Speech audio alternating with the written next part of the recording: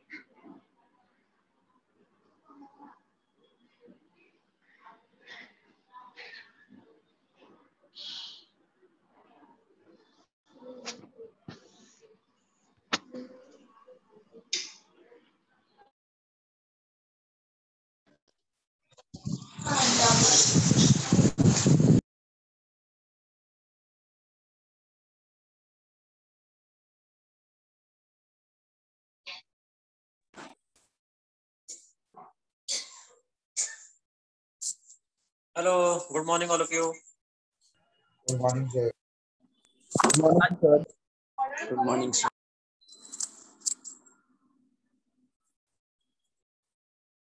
Okay. So today I was planning to start with a few introduction of uh, data structure. Okay. Uh, we will be starting with the topics of 12th standard from today.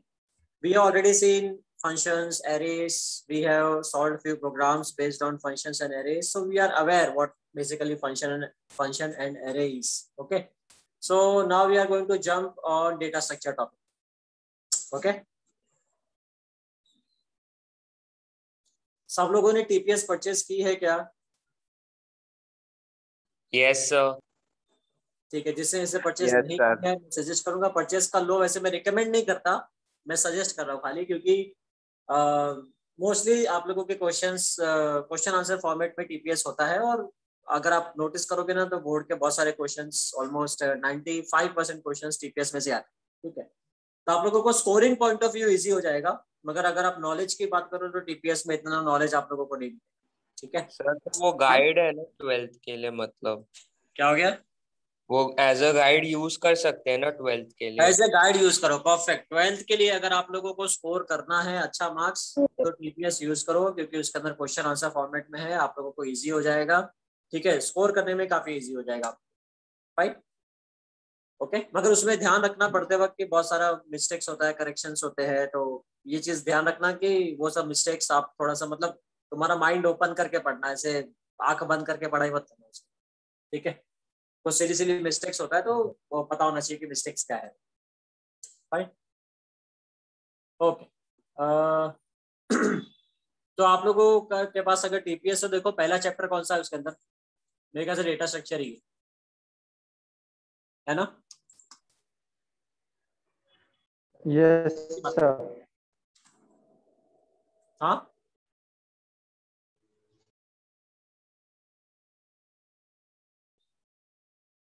कुछ बोलो।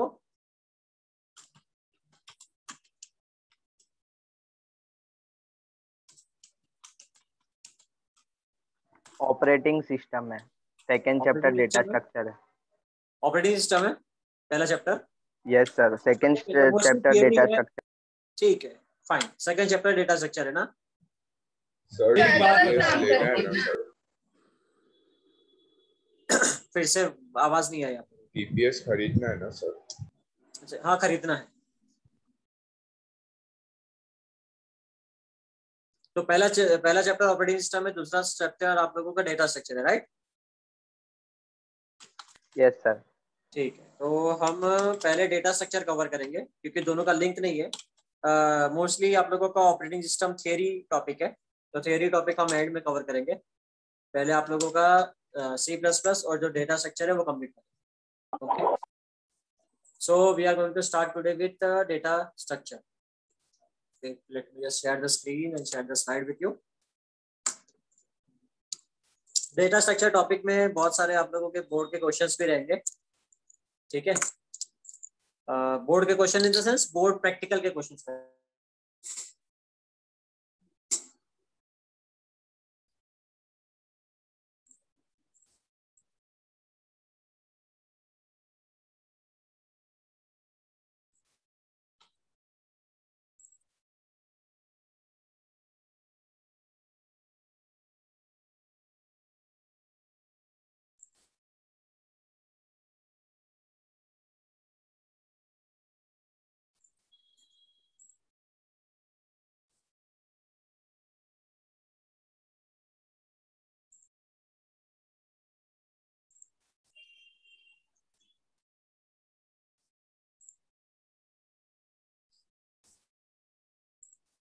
Okay.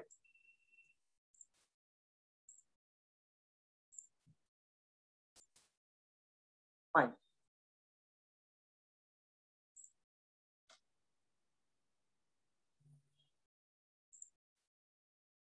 So data structure, our uh, chap uh, this is our chapter 2 in CS paper 1. So today we are formally starting with our 12 topic, 12 syllabus. Okay. So far we have completed our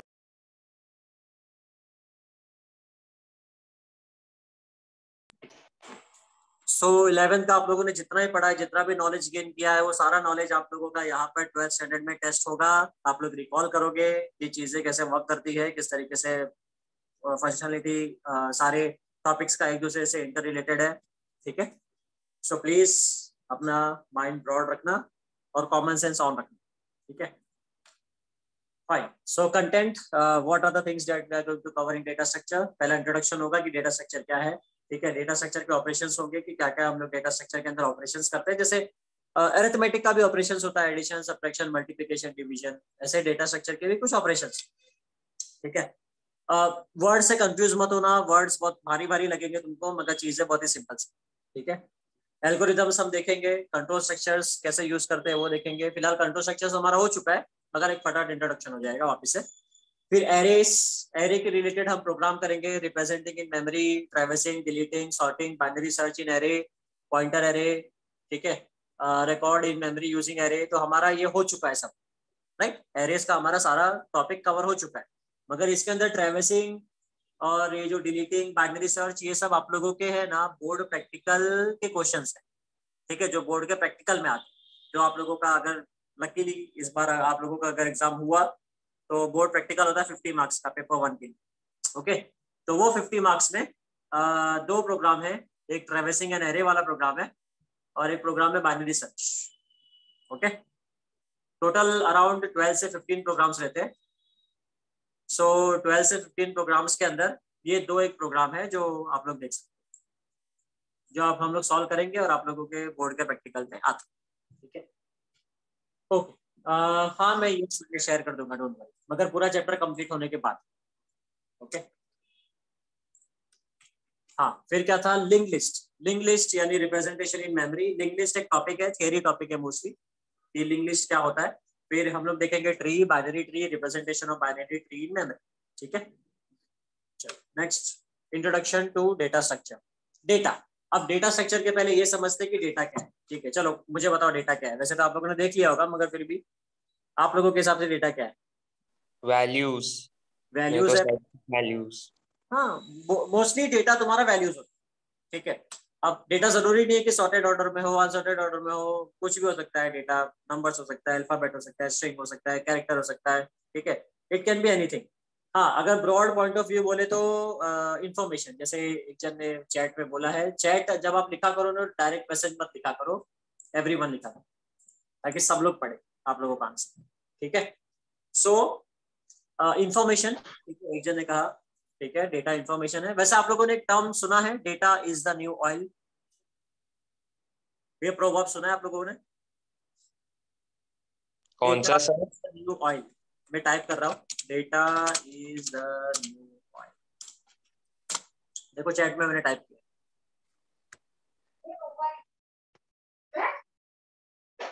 नहीं sir नहीं सुना। ये term नहीं सुना आप लोगों ने? Oh my God ऐसे कैसे पॉसिबल है?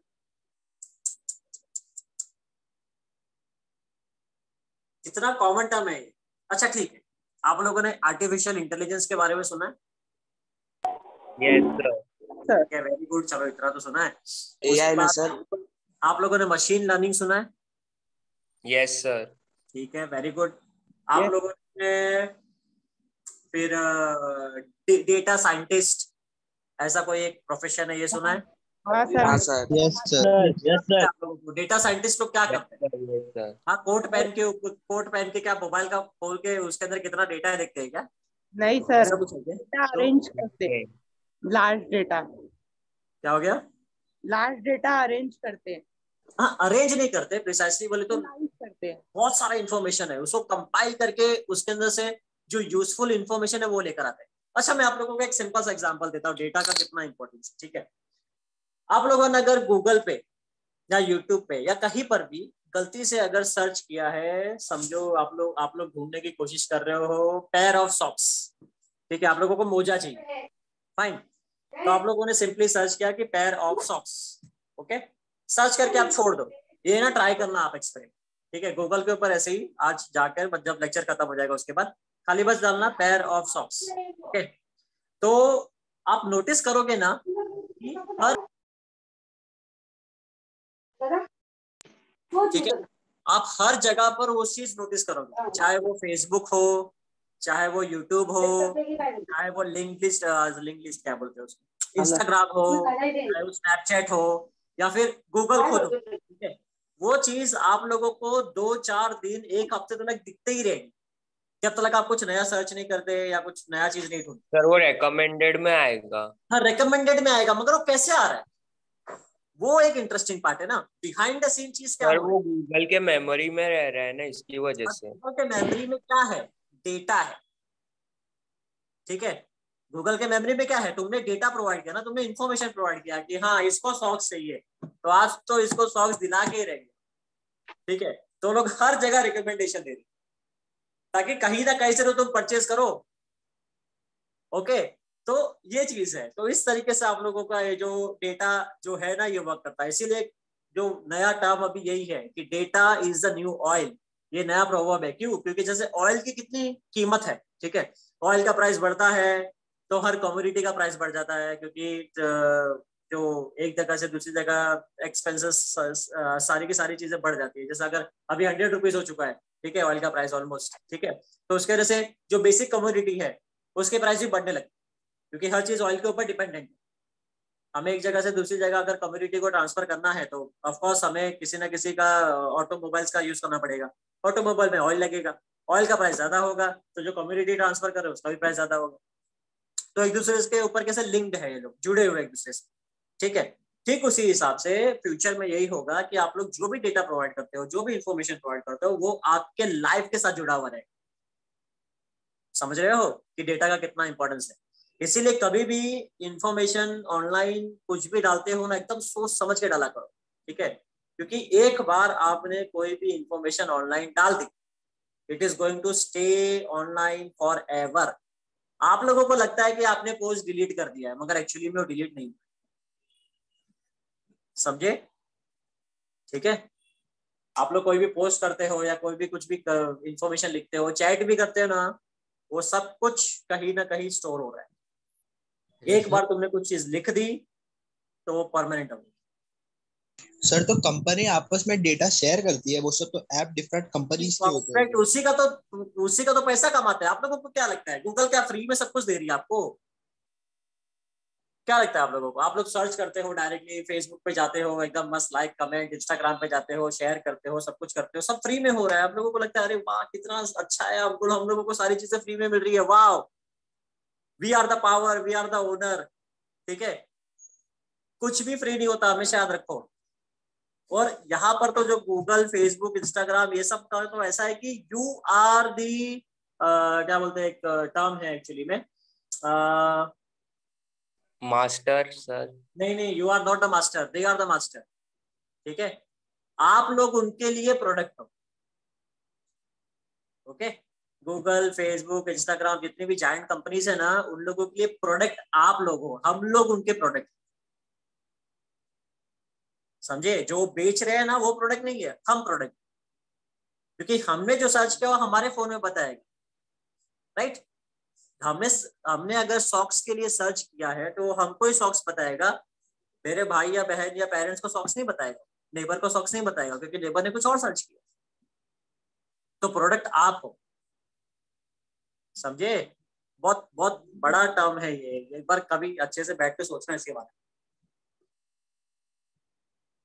सर पर ये सब गूगल अकाउंट पे भी डिपेंड होता है ना। अगर दूसरे के फ़ोन में भी अपना ही गूगल अकाउंट है तो वो दिखाई देगा ना। तो दिखाई देगा ना। ऑफकोर्स हर चीज़ तुम्हारे अकाउंट से लिंक्ड है इसीलिए तो एक ही अकाउंट बनाओ।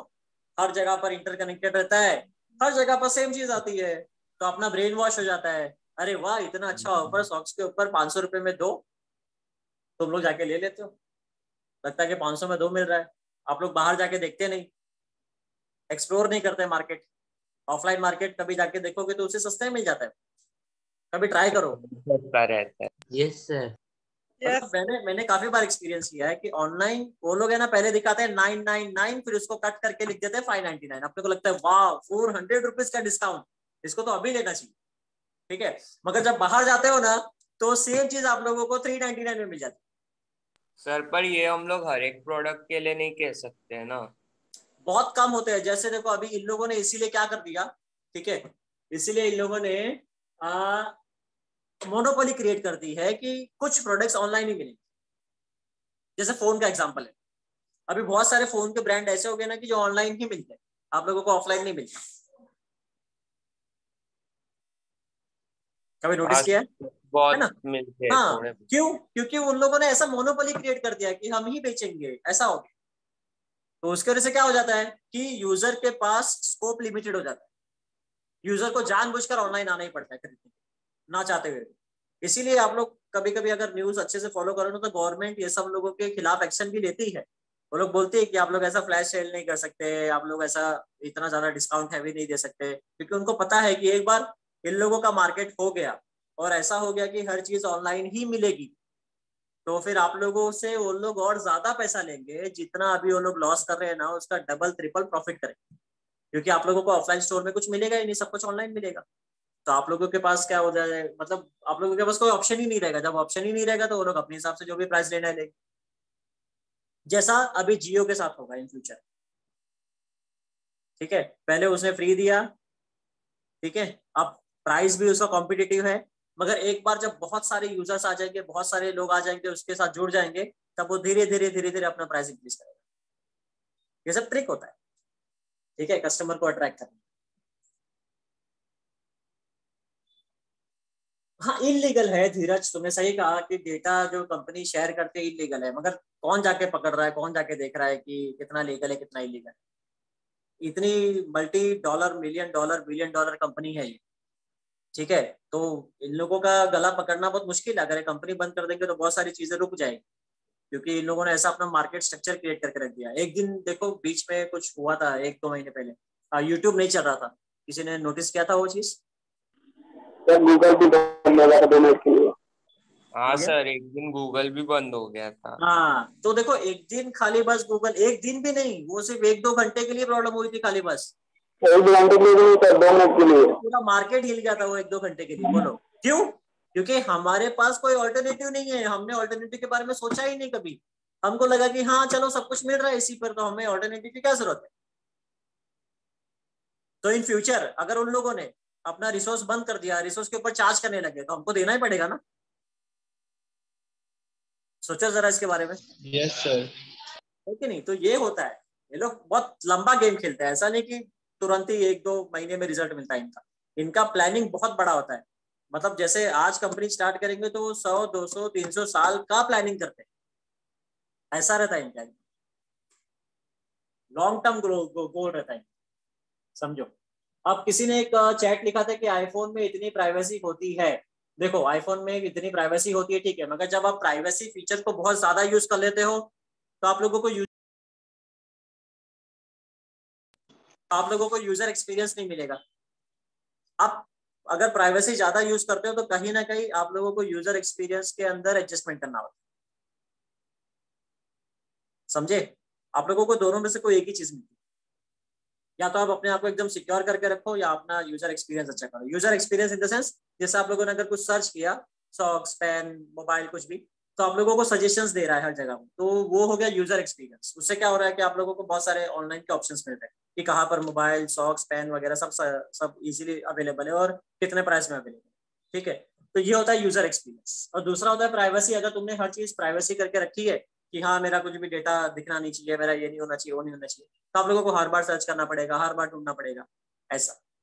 तो चाहे आप कॉम्प्रोमाइज करो यूज़र एक्सपीरियंस में या कॉम्प्रोमाइज करो आपके प्राइवेसी को। कहीं ना कहीं तो आप कॉम्प्रोमाइज करिए। समझे? तो ये हो रहा है आजकल मार्केट में। समझ रहे हो? इसीलिए कहते हैं data is a new oil कोई कुछ बोल रहा है क्या? मुझे आवाज़ नहीं आ रही। कोई कुछ बोलो? यस नो हाँ। हाँ सर हाँ ठीक है वेरी गुड फाइन सो ये सब थोड़ा थोड़ा हम पढ़ेंगे डेटा के बारे में okay next introduction to data structure so data are simply values और सेट ऑफ़ वैल्यूज़ ठीक है? Set of values in the sense arrays arrays के केस में सेट होता है कलेक्शन होता है, ठीक है? या सिंपली वैल्यूज़ होती है? ए बी सी डी जो भी वेरिएबल हमने बनाया, उसका जो भी वैल्यू असाइन करेंगे, वो डेटा होगा ठीक है? Group items data items which are divided into sub items are called group items, for example, date, अगर आप डेट को कंसिडर करो तो डेट को हम लोग तीन पार्ट्स में डिवाइड कर सकते हैं, day, month and year. So date becomes group item okay जिसके अंदर ग्रुप होता है कलेक्शन ऑफ़ डेटा होता है। ठीक है तो आप लोगों का ग्रुप आइटम होता है, जैसे डेट का एग्ज़ाम्पल है। और और कोई एग्ज़ाम्पल है ग्रुप आइटम का आप लोगों के नज़र में? जिसके अंदर कलेक्शन हो अलग अलग आइटम्स का अलग अलग टाइप के वैल्यूज़ का। हाँ? कुछ क्लिक हो रहा है? टाइम हाँ टाइम के अंदर आवर्स मिनट सेकंड्स मिली सेकंड्स ये भी होता है परफेक्ट ठीक है? Very good Shubh. और और किसी को एग्जांपल कुछ डेटा आइटम्स का? सॉरी ग्रुप आइटम्स का।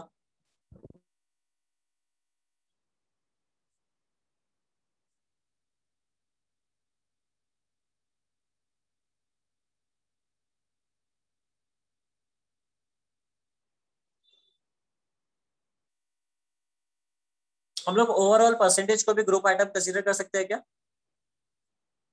क्योंकि ओवरऑल परसेंटेज में आप लोगों के बहुत सारे सब्जेक्ट्स का कंबाइन करके फिर उसके अंदर कैलकुलेट करके परसेंटेज निकलता है उसको कंसीडर कर सकते हैं ग्रुप आइटम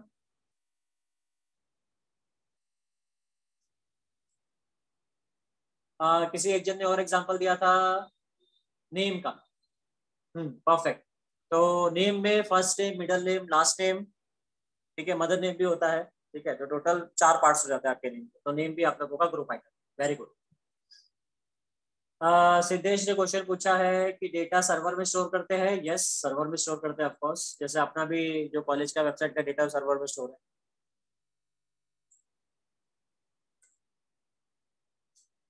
अर्थ? अर्थ क्या करूँ?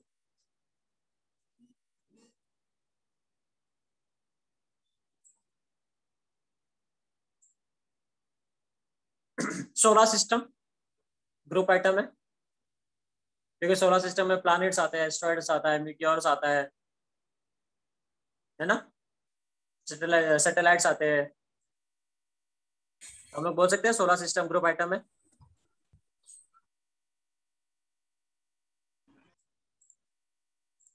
अरे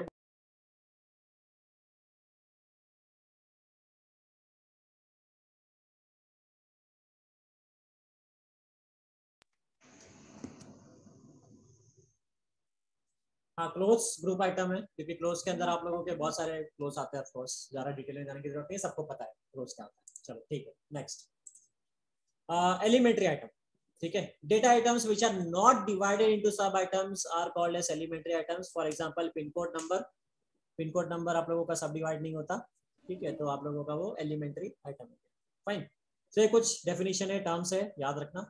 डेटा सिंपली वैल्यूज़ होता है फिर सेट ऑफ़ वैल्यूज़ होता है ग्रुप आइटम्स यानी ऐसे आइटम्स जिसको हम लोग सब डिवाइड कर सकते हैं, ठीक है? जैसे यहाँ पर एग्जांपल दिया डेट का नेम का, आप लोगों ने एग्जांपल दिया, फिर टाइम का एग्ज़ाम्पल दिया जन ने सोलर सिस्टम का एग्जांपल है, ऐसे बहुत सारे एग्जांपल्स है कोई एक ही एग्जांपल देना, सब देने की ज़रूरत नहीं है।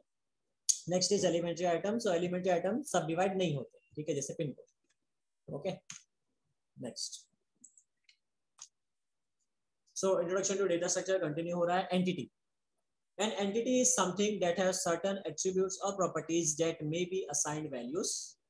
Okay. The values themselves may be numeric or non-numeric. Okay. I repeat once again. An entity is something that has certain attributes or properties which may be assigned values. The values themselves may be numeric or non-numeric. Okay. So terms में ज्यादा confuse मत हो ना example देखो बहुत simple ठीक है क्या बोलना चाह रहा है? कि एट्रीब्यूट्स होता है। जैसे यहाँ पर आप देखो attribute name age sex and education ठीक है, ये आपका एट्रीब्यूट हो गया वैल्यूज़ के अंदर क्या हो गया कि वो एट्रीब्यूट के लिए हमने कुछ ना कुछ वैल्यू प्रोवाइड की। ठीक है? जैसे नेम अतुल हो गया एज ट्वेंटी टू हो गया सेक्स मेल हो गया एजुकेशन हो गया, ऐसी कंप्यूटर साइंस ठीक है, जो भी जो भी उसने एजुकेशन किया होगा। तो अब ये एग्ज़ाम्पल के साथ अगर ये डेफिनेशन पढ़ोगे तो क्लियर हो जाएगा कि entity is something that has certain attributes तो कुछ एट्रीब्यूट्स होता है एंटिटी के लिए, ठीक है? और प्रॉपर्टीज़ होती है। जैसे यहाँ पर एज में अगर नोटिस करो तो हम न्यूमेरिक वैल्यू देते हैं राइट एज न्यूमेरिक होता है ना? एज अटूल तो हो नहीं सकता राइट नेम के लिए हम लोग किसी का नाम नंबर में तो नहीं लिखते। एक्सेप्ट वो जेम्स बॉन्ड हो तो बात अलग है ज़ीरो ज़ीरो सेवन ठीक है? तो जनरली नॉर्मली तो हम नाम में अल्फ़ाबेट यूज़ करते हैं ना राइट फिर सेक्स के अंदर जेंडर के अंदर मेल या फीमेल ही होता है राइट एजुकेशन के केस में हम लोग स्पेसिफाई करेंगे कि क्या उसका एडुकेशन है। तो अगर आप नोटिस करो तो स्पेसिफिक एट्रीब्यूट के लिए स्पेसिफिक वैल्यूज़ होती है ओके तो उसको हम लोग कोई भी वैल्यू असाइन करते हैं डिपेंड करता है कि वो वैल्यू न्यूमेरिक हो सकता है, जैसे एज वगैरह सब न्यूमेरिक होते हैं नेम वगैरह नॉन न्यूमेरिक होता है, ठीक है? तो यहाँ के केस में डॉट भी यूज़ किया है, मगर नेम में जनरली डॉट वगैरह नहीं है। क्लियर है?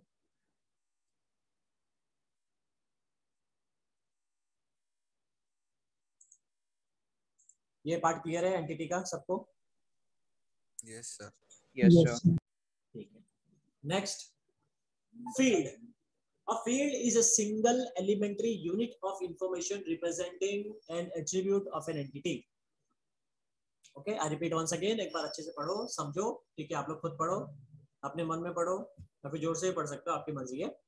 Field field is a single elementary unit of information representing an attribute of an entity. ठीक है तो यहाँ पर नीचे डायग्राम में देखो कि फ़ील्ड किसको हाईलाइट किया हुआ है। जैसे जीआर नंबर तो जो कंप्लीट जीआर नंबर पूरा जो सेट रहेगा, वो आप लोगों का फ़ील्ड रहेगा। सिंगल एलिमेंट्री यूनिट ठीक है? एलिमेंट्री यूनिट आप लोगों को आई होप याद होगा एलिमेंट्री आइटम जिसको हम लोग फर्दर सब डिवाइड नहीं करते। राइट तो जीआर नंबर जो है बच्चे का, उसको हम लोग फर्दर सब डिवाइड करते हैं क्या? नहीं, आप लोगों का जो जीआर नंबर है वो जीआर नंबर है राइट वो फिक्स्ड है। फिर आप लोगों का नेम फिक्स्ड है। नेम को हम लोग सब डिवाइड करते हैं। अभी आप लोगों का एज ठीक है? एज को हम लोग सब डिवाइड नहीं करते। तो अगर ऐसा कोई सिंगल एलिमेंट्री यूनिट है जो पूरे एंटिटी को रिप्रेजेंट कर रहा है, ठीक है? जैसे एंटिटी क्या है? पूरा एक पूरा रो है। ठीक है वो एंटिटी को रिप्रेजेंट कर रहा तो जीआर नंबर की वैल्यू में जीआर नंबर रहेगा नेम की वैल्यू में नेम रहेगा ठीक है एज वाले कॉलम में एज रहेगा एजुकेशन में एजुकेशन रहेगा जेंडर या सेक्स में तुम्हारा जेंडर या सेक्स रहेगा ठीक है। सो so, ये हो गया तुम्हारा field next is record record is a collection of field values of given entity ठीक है तो गिवन एंटिटी का पूरा एक रो तुम्हारा हो गया रिकॉर्ड सिंपल वर्ड से में ठीक है? तो रिकॉर्ड एक कंप्लीट रो होता है जिसके अंदर कलेक्शन ऑफ़ तुम्हारे फ़ील्ड वैल्यूज़ होते हैं। कलेक्शन ऑफ़ फ़ील्ड रिकॉर्ड हो गया। फ़ील्ड यानी सिंगल एंटिटी की बात कर रहे हो। सिंगल कॉलम की बात। कर रहे हैं समझे? एक और एग्जांपल देता हूँ आप लोगों को जो हम लोग रियल लाइफ में यूज़ कर रहे हैं कॉलेज में ठीक है? नेक्स्ट uh, देख लेते हैं file file is a collection of records तो अगर आप देखो तो ये सब कलेक्शन की हम लोग बात कर रहे हैं। तो पूरा फ़ाइल बनता है रिकॉर्ड से रिकॉर्ड बनता है फ़ील्ड से। सिंपल वर्ड्स यहाँ पर ये स्लाइड के अंदर यही हमको सीखना ठीक है? तो जैसे एक एग्जांपल देता हूँ आप लोगों को।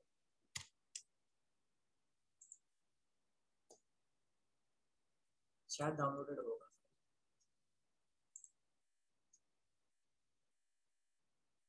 हम्म। जैसे ये फाइव है, ठीक है? बैच 1820 ठीक है? इस वजह से कंबाइंड फ़ाइल ठीक है? ये फ़ाइल का नाम है जो तो इसके अंदर अगर आप देखोगे तो इतने सारे इतने सारे इसके फील्ड्स है। ठीक है? ये सब इसका फ़ील्ड है। फाइन ये है ये है ये है ये है। जितना भी कॉलम्स है, वो सब फ़ील्ड है। Surname first name subject taken division student number parent number address state ठीक है? बोर्ड कौन सा है स्कूल का एड्रेस ठीक है? कितना फ़ीस भरा है, कितने टर्म में भरा है, कितने पार्ट में भरा है, कौन सी डेट पे भरा था टोटल कितना है पेड कितना है, उसका सब्जेक्ट क्या है एच का सीट नंबर क्या है? कितना परसेंटेज आया था? हैंडीकैप है कि नहीं? ईमेल आईडी क्या है? ठीक है? तो ये सब क्या हो गए? तुम्हारे फील्ड्स हो गए। समझ रहा है? ठीक है? और मल्टीपल फील्ड्स को मिला करके आपका बनता है रिकॉर्ड तो अगर हम लोग किसी एक बच्चे का रिकॉर्ड फैच करना चाहेंगे, जैसे फॉर एग्जांपल अगर इसका रिकॉर्ड चाहिए तो मैं इसको क्लिक करूँगा यहाँ पर ये हाईलाइट हो गया तो ये कोमल यादव का पूरा रिकॉर्ड मुझे दिखाई देगा ये पूरा कोमल यादव का रिकॉर्ड है, जिसके अंदर कोमल यादव का सब्जेक्ट क्या है? कोमल यादव ने कितना फ़ीस भरा है, कितना पेंडिंग है, कौन सी डेट पे भरा है, कितना परसेंटेज है? ठीक है? हैंडीकैप है कि नहीं? उसका ईमेल आईडी क्या है? सब कुछ दिखाई देगा समझ गए? तो जब हम लोग रिकॉर्ड की बात करते तब हम लोग स्पेसिफिक रिकॉर्ड की बात करते हैं स्पेसिफिक रोग की बात करते हैं। ठीक है? फिर एंड में आता है फ़ाइल फ़ाइल यानी पूरा कलेक्शन तो एक कंप्लीट अगर कलेक्शन की बात करेंगे तो कंप्लीट फ़ाइल ठीक है? ये पूरा कलेक्शन यानी पूरा तुम्हारे रिकॉर्ड्स मिला करके बनते हैं फ़ाइल और रिकॉर्ड बनता है फील्ड्स को मिलाकर समझ गए? क्लियर है? रिकॉर्ड फ़ील्ड एंड फ़ाइल तीनों में रिलेशनशिप समझा? सबको? कंफ्यूज मत होना, ये सब आता है। ये सारे कभी कभी एमसीक्यू में पूछ लेते हैं या लोग डेफिनेशन में पूछ लेते हैं बोर्ड में। हम लोग जब ये चैप्टर हो जाएगा तो क्वेश्चन पेपर भी सॉल्व करेंगे बोर्ड का, देखेंगे कि डेटा स्ट्रक्चर के रिलेटेड कौन कौन से क्वेश्चन आए। थे वैसे आप लोगों ने अगर बुक परचेज किया टीपीएस का तो उसमें आपको दिख जाएगा। ठीक है? सो अगेन एक बार एग्ज़ाम्पल देख लिया हमने तो डेफिनेशन एक बार फिर से पढ़ते कि field is a single elementary unit of information representing an attribute of entity ठीक है? तो फ़ील्ड एक सिंगल एलिमेंट्री इंफॉर्मेशन होता है, जो भी एट्रीब्यूट है उसको रिप्रेजेंट कर रहा है वो। फिर होता है record record is a collection of field values of given entity तो गिवन एंटिटी का पूरा कलेक्शन ऑफ़ फ़ील्ड वैल्यूज़ होता है record and finally file is a collection of record of entities in the given entity set तो ये पूरा entity set हो गया. GR number name age sex education ये सब. ठीक है? ये तो पूरे एंटिटी सेट को मिला करके तुम्हारा जो कलेक्शन ऑफ़ रिकॉर्ड्स बना हुआ है, उसको कहते हैं फ़ाइल तो सबसे स्मॉलेस्ट यूनिट हो गया तुम्हारा फ़ील्ड ठीक है? मल्टीपल फील्ड्स मिला करके तुम्हारे बनते हैं रिकॉर्ड और मल्टीपल रिकॉर्ड मिला करके बनता है तुम्हारा फ़ाइल क्लियर है ओके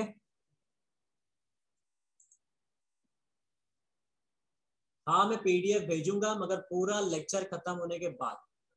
जब ये पूरा खत्म हो जाएगा ना टॉपिक डेटा स्ट्रक्चर उसके बाद। ठीक है? फिर उससे नोट डाउन करना है नोटबुक में। अगर आपको नोट डाउन करना है तो आप नोट डाउन करो कोई दिक्कत नहीं है। भेजूँगा तो सही।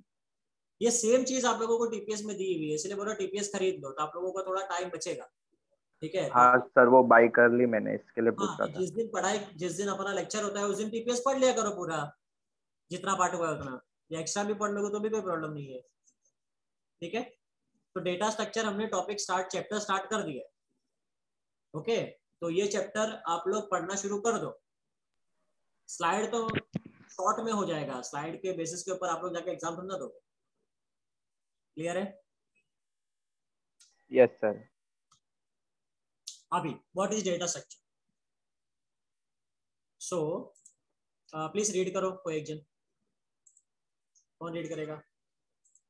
मैं नाम बोलू? मैं नाम बोलता चलो। Hmm.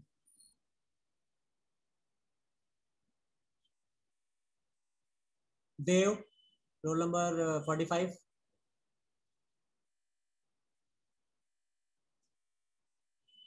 roll number forty five Dev.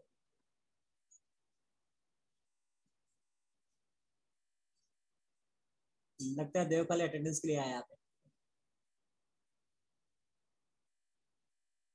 देव हो कि नहीं हो तुम? चैट में तो लिखो कम से कम। हम्म। ये लोग बाद में परेशान खुद भी होंगे मुझे भी। ठीक है। धीरज रीड करो रोल नंबर एटी सर आपका स्क्रीन ब्लैक दिख रहा है। क्या हो गया? आपका स्क्रीन ब्लैक दिख रहा है मुझे। तुम्हारी आवाज़ क्लियर नहीं है कौन बोल रहा है धीरज तो तुम क्या बोल रहे हो? तुम समझ में नहीं आ रहा है सर आपका स्क्रीन ब्लैक दिख रहा है। स्क्रीन नहीं दिख रहा है आप लोगों को? दिख रहा है सर। क्लियर क्लियर तो है ठीक है कोई बात नहीं।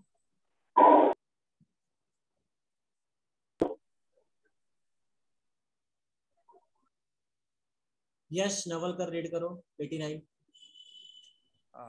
what is data structure Yash Data is organized in many different ways. Data structure is the way in which different data elements are logically related.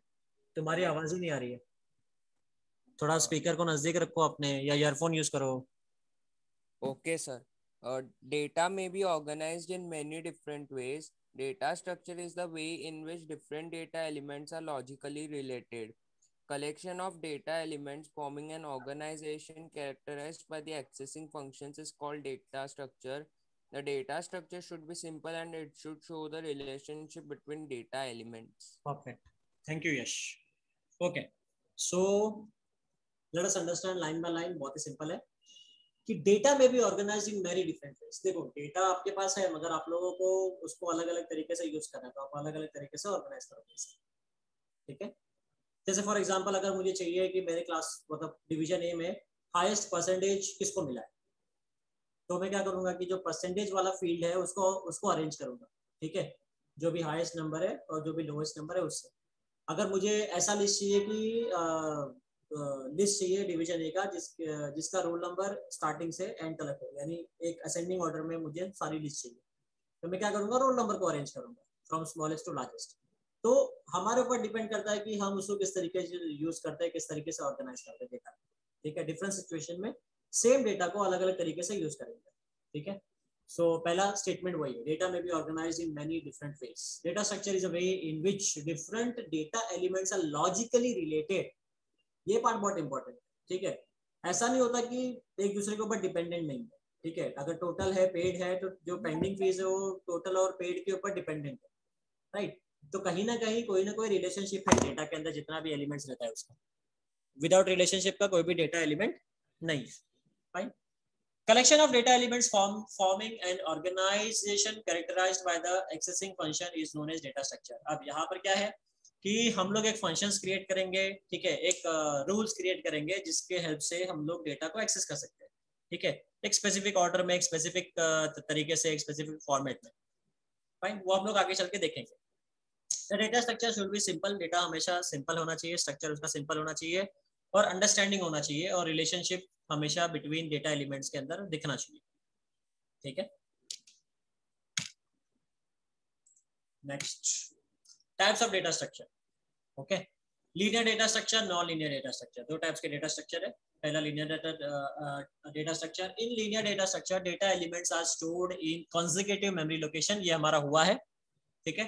By using linked representation example array और link list ठीक है? Array हमारा हो गया। ठीक है? Array के definition में ही था कि elements in an array are stored in a single variable size is fixed and in a contiguous memory याद है ना डेफिनेशन तीन पार्ट्स होना चाहिए एरे के डेफिनेशन में। ठीक है? एक होता है साइज़ साइज़ फिक्स होता है एरे का। दूसरा पॉइंट होता है कि एक सिंगल वेरिएबल के अंदर हम लोग सेम टाइप का डेटा स्टोर करते हैं। जैसे for example if we create an integer array so in that integer array we store integer values only अगर हमने कैरेक्टर एरे बनाया तो उसके अंदर कैरेक्टर वैल्यू स्टोर करते हैं। अगर हमने फ्लोट एरे बनाया तो हम फ्लोट वैल्यू स्टोर करते हैं राइट तो सेम डेटा टाइप की वैल्यू स्टोर करते हैं, पहला पॉइंट है। दूसरा पॉइंट है कि साइज़ फिक्स्ड होता है right and the third point is the values or the elements are stored in consecutive memory location याद है सबको? एरे हुआ ये तो पता है ना?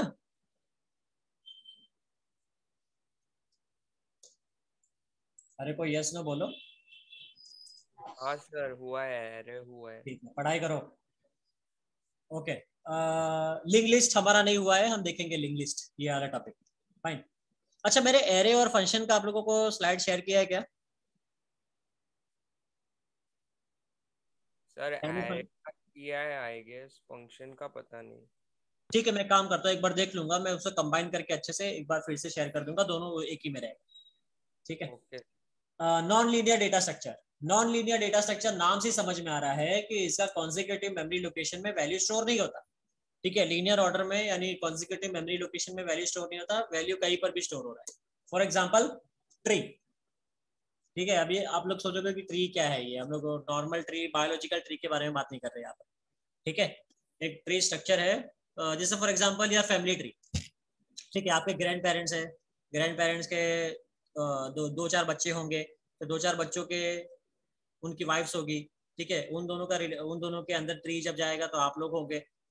राइट फिर आप लोगों का फ्यूचर में जब शादी होगा तो ट्री और बढ़ेगा। समझे? तो ट्री किस तरीके से बढ़ता जा रहा है, अगर आप लोग इमेजिन कर पा रहे हो तो। है कि नहीं? फैमिली ट्री एक बार ट्राई करना ड्रॉ करने की फैमिली ट्री अपनी घर पे। अच्छा लगता है, मज़ा आता है। So computer language provides different data structures like array stack queue tree etcetera computer language के अंदर बहुत सारे डेटा स्ट्रक्चर है तो हम लोग एक एक करके देखेंगे। Next data structure operations data के ऊपर कौन कौन से हम लोग ऑपरेशंस कर सकते हैं? ट्रेवेसिंग ट्रेवेसिंग यानी accessing each elements each records exactly once ठीक है? एक्सेसिंग का मतलब ये होता है विजिटिंग ठीक है? हम उसको एक बार एक बार जा करके देख कर आ रहे हैं कि भाई उसके अंदर क्या है। ठीक है? वो हो गया accessing right so accessing each record और एग्जैक्टली जितना भी एलिमेंट्स है, उसको exactly once so that it can be processed ताकि अगर उसमें कुछ प्रोसेसिंग करना है तो हम लोग प्रोसेस कर सके इस कॉल ट्रेवेसिंग प्रोसेसिंग यानी आप लोग कुछ भी कर सकते हैं एलिमेंट के साथ, उसको डबल करो, उसका स्क्वायर निकालो, उसका क्यूब निकालो स्क्वायर रूट निकालो, जो करने का करो, तुम्हारी मर्ज़ी। ठीक है? तो ट्रेवेसिंग का मतलब ये होता है कि हम लोग एक्सेस करते हैं ईच एलिमेंट्स को ईच रिकॉर्ड्स को एटलीस्ट वंस ताकि उसके साथ कुछ भी प्रोसेस करना है तो प्रोसेस कर सके। क्लियर है? Traversing an array okay next is inserting नाम से समझ में आ रहा है कि adding a new record to an existing structure is called in is called as inserting तो अगर हम लोग के पास पहले से एक एरे है और एक नया वैल्यू हमें ऐड करना है उस एरे में तो इंसर्टिंग हो गया, ठीक है? अभी वैल्यू कहाँ कहाँ पर ऐड कर सकते हैं आप लोग बताओ? इंसर्शन ऑपरेशन कहाँ कहाँ पे हो सकता है?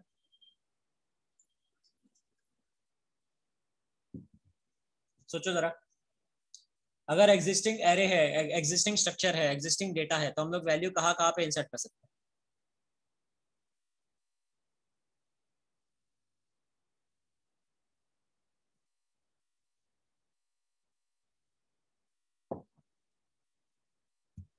सिंप्लिसिटी के लिए एरे का एग्जांपल हो ना। अगर मेरे पास एक एरे है जिसका साइज़ है टेन ठीक है? ए ऑफ़ टेन मैंने कोई एरे बनाया है ओके तो ये पर्टिकुलर एरे के अंदर मैं वैल्यू कहाँ कहाँ पे इंसर्ट कर सकता हूँ? एक्स्ट्रा अगर मुझे वैल्यू इंसर्ट करना है नॉर्मल टेन वैल्यू तो इंसर्ट कर ही रहा हूँ, मगर और भी मुझे इंसर्ट करना है तो। समझो मेरे पास कोई प्रोविज़न है जिससे मैं एरे का साइज़ इंक्रीज कर सकता हूँ, ठीक है? इलेवन ट्वेल्व वैसे वैसा प्रोविज़न है, मैं आप लोगों को बताऊँगा कि डायनामिक एरे कैसे बनाते हैं? तो समझो मैं डायनेमिक एरे बना रहा हूँ, जिसके अंदर साइज़ मैं अपने हिसाब से कम या ज़्यादा कर सकता हूँ एरे का तो अगर मैंने साइज़ एक बढ़ा दिया तो वैल्यू कहाँ कहाँ पर इंसर्ट कर सकता हूँ? क्वेश्चन समझ रहा है?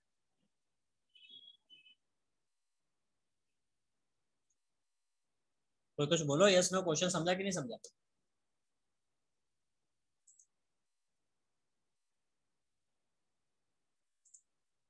आप लोगों की आवाज़ नहीं आ रही, आप लोग कुछ बोल रहे हो? कि सोच रहे हो? तो एक बार वापस क्वेश्चन समझा। ठीक है। एक्सेल के साथ समझाते हैं।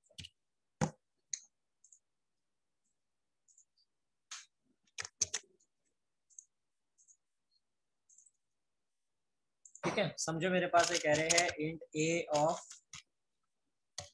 A of ten okay तो ए ऑफ़ टेन में कितनी वैल्यू स्टोर कर सकते हैं हम? टेन टेन परफेक्ट बहुत ही हार्ड क्वेश्चन था ठीक है? तो ए ऑफ़ टेन के अंदर हम लोग टेन वैल्यू स्टोर कर सकते हैं राइट स्टार्टिंग इंडेक्स क्या होगा? A of zero N index क्या होगा? Nine nine very good perfect so at least index के बारे में आइडिया है। समझो हमने टेन वैल्यू स्टोर कर दी ठीक है? One two three four five six six seven eight nine and ten ये दस वैल्यू हमने इस एरे में स्टोर कर दिया। इंडेक्स है ज़ीरो टू नाइन ठीक है तो ज़ीरो वन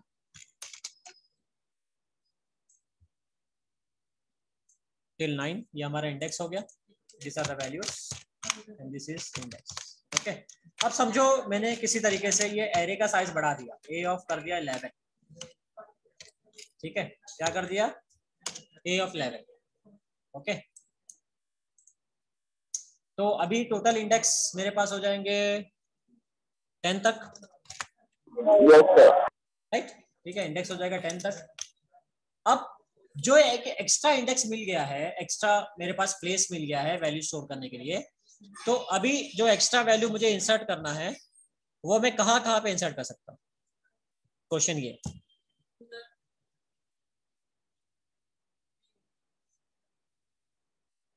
समझा? क्वेश्चन अभी एक्स्ट्रा वैल्यू ना होना चाहिए एक एक्स्ट्रा मेरे पास प्लेस होल्डर मिल गया एक्स्ट्रा मेमोरी लोकेशन मिल गया मेरे पास। तो एक्स्ट्रा मेमोरी लोकेशन का के लिए यूज़ करने के लिए मैं कहाँ कहाँ पर वैल्यू इंसर्ट कर सकता हूँ? ये क्वेश्चन है ठीक है? सोचो जरा बताओ कहाँ कहाँ पे वैल्यू इंसर्ट हो सकती है?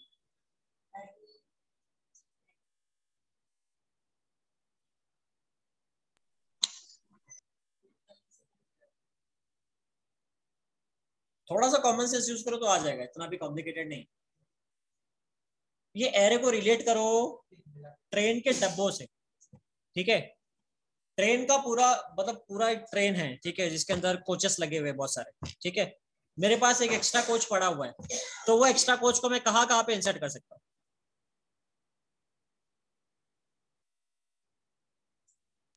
सर स्टार्टिंग में एंडिंग और बीच में? परफेक्ट सिंपल ट्रेड का एग्ज़ाम्पल दिया तो बराबर समझ में आया। ठीक है तो अगर इंसर्टिंग की बात आती है या कोई भी ऑपरेशन की बात आती है ठीक है तो वो ऑपरेशन ठीक है वो ऑपरेशन इंसर्ट कर सकते हैं। ठीक है तो हम लोग वैल्यू चाहे तो स्टार्ट में इंसर्ट कर सकते हैं। अगर स्टार्ट में इंसर्ट करना होगा तो हमें ये सारे वैल्यू को एक एक पोजीशन शिफ्ट करना होगा। राइट तब हम लोग स्टार्ट में कोई एक्स्ट्रा वैल्यू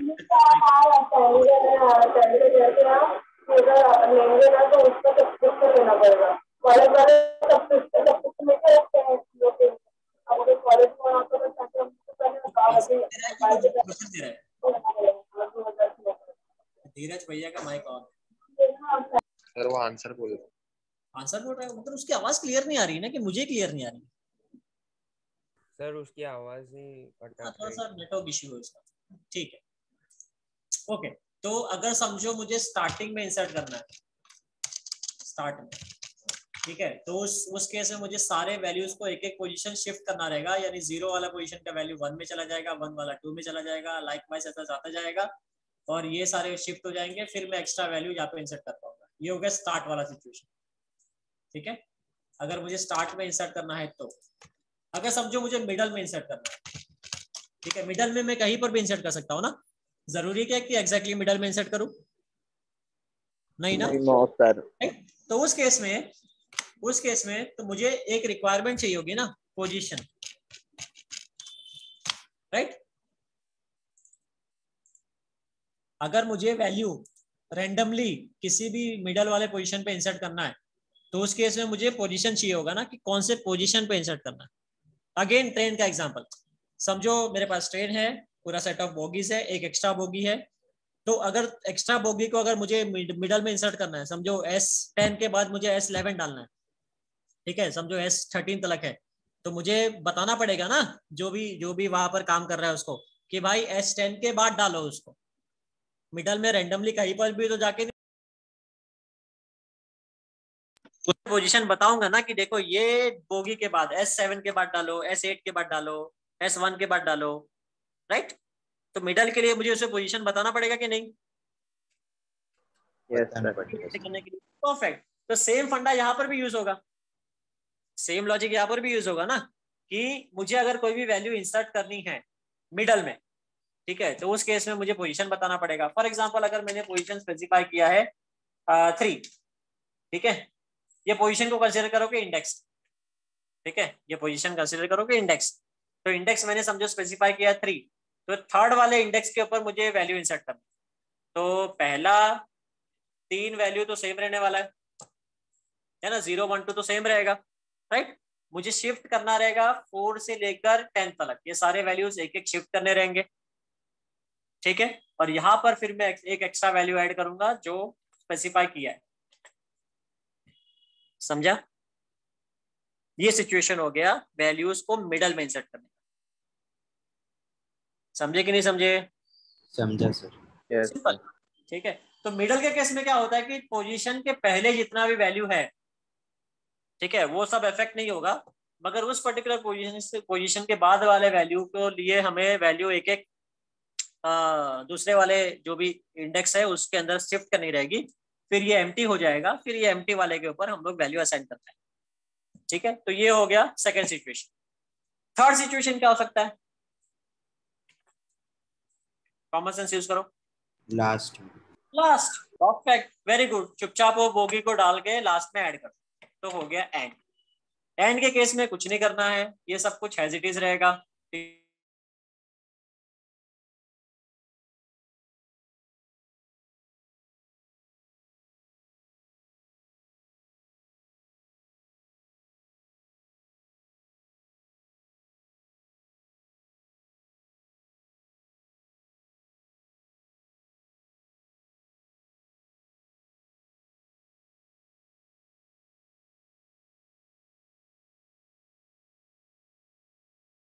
सेकंड रुको शायद कुछ ऑफ़ हो गया ना स्क्रीन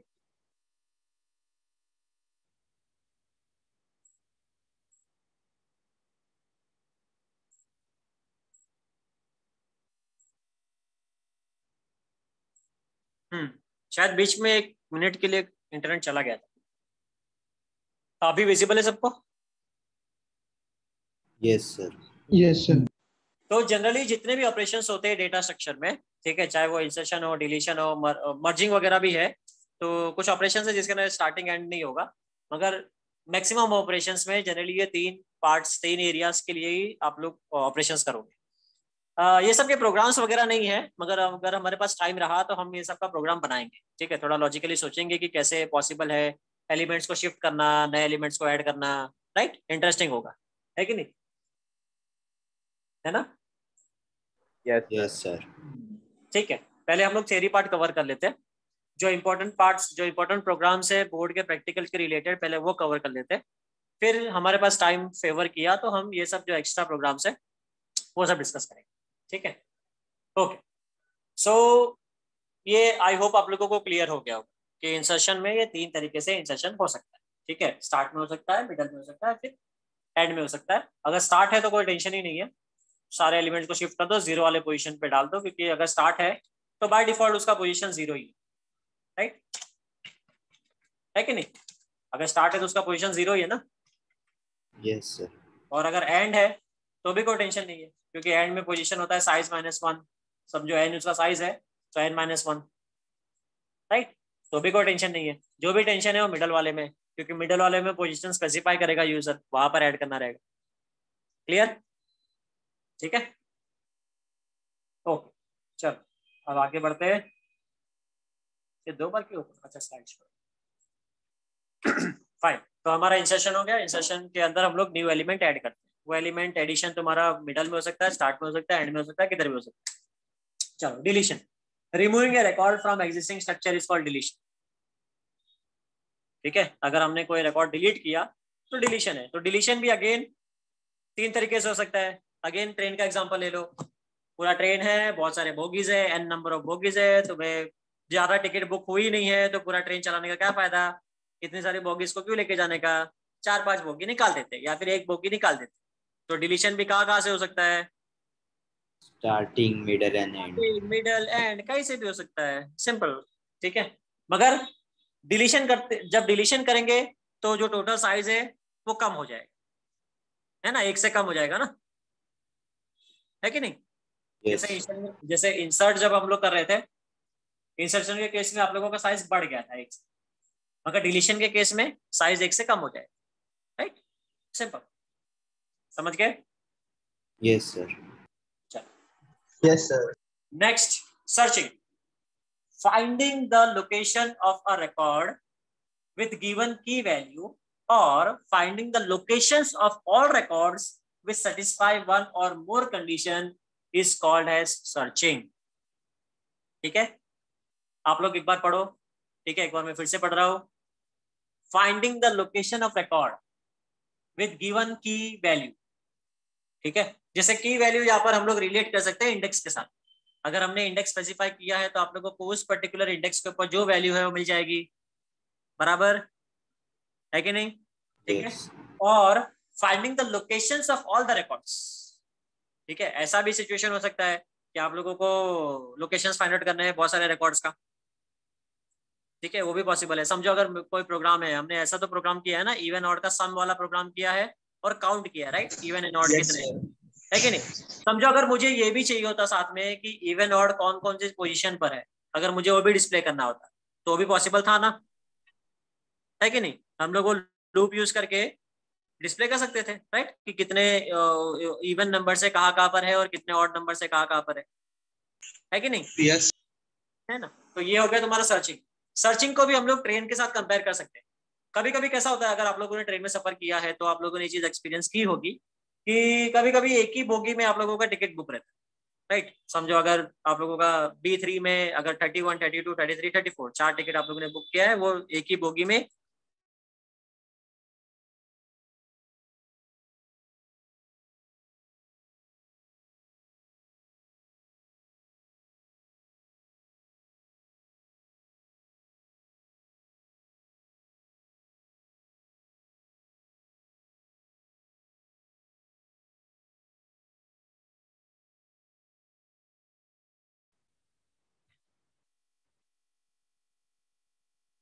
किसी के साथ भी हुआ है? कि पापा की सीट अलग है मम्मी की सीट अलग है? आप दोनों की सीट जो आप लोगों फ़्लाइट में हुआ है। फ़्लाइट में हुआ है ना? हाँ हम्म।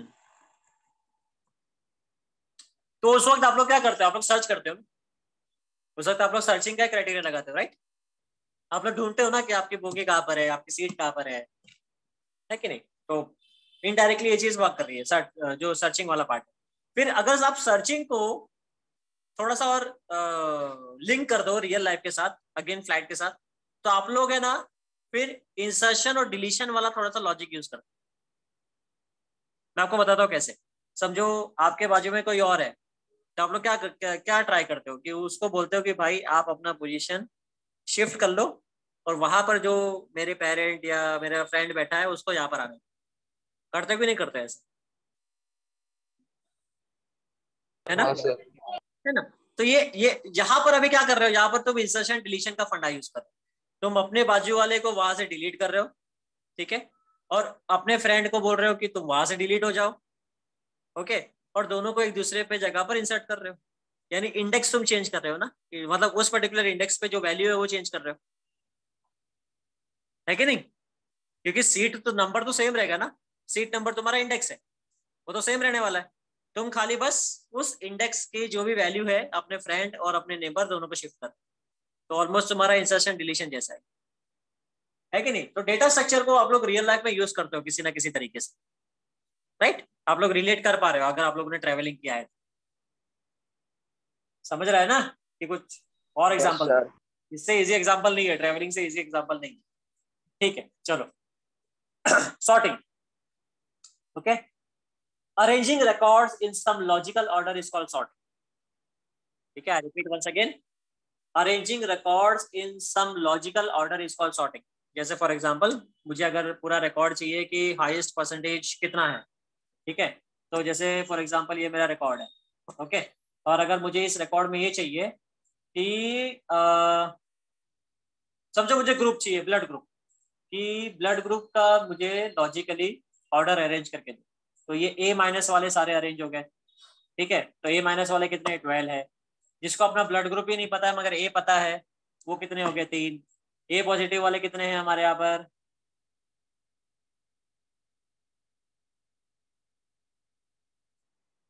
टू एटी सिक्स नीचे देखो, दिखाई दे रहा है टू एटी सिक्स यहाँ ठीक है? तो ये क्या हो गया? ये हमने क्या किया? हमने एक लॉजिकल ऑर्डर में डेटा को अरेंज किया। तो ये हो गया सॉर्टिंग तो यहाँ पर लॉजिकल ऑर्डर क्या यूज़ किया? ब्लड ग्रुप समझ रहे हो? यस सर ऐसे ही आप कोई भी लॉजिकल ऑर्डर बना सकते हो। जैसे फॉर एग्जांपल अगर मुझे चाहिए कि स्पेसिफिक पिन कोड में कितने लोग रहते हैं ठीक है? तो मैं इस पिन कोड को अरेंज कर सकता हूँ या तो असेंडिंग या तो डिसेंडिंग ठीक है?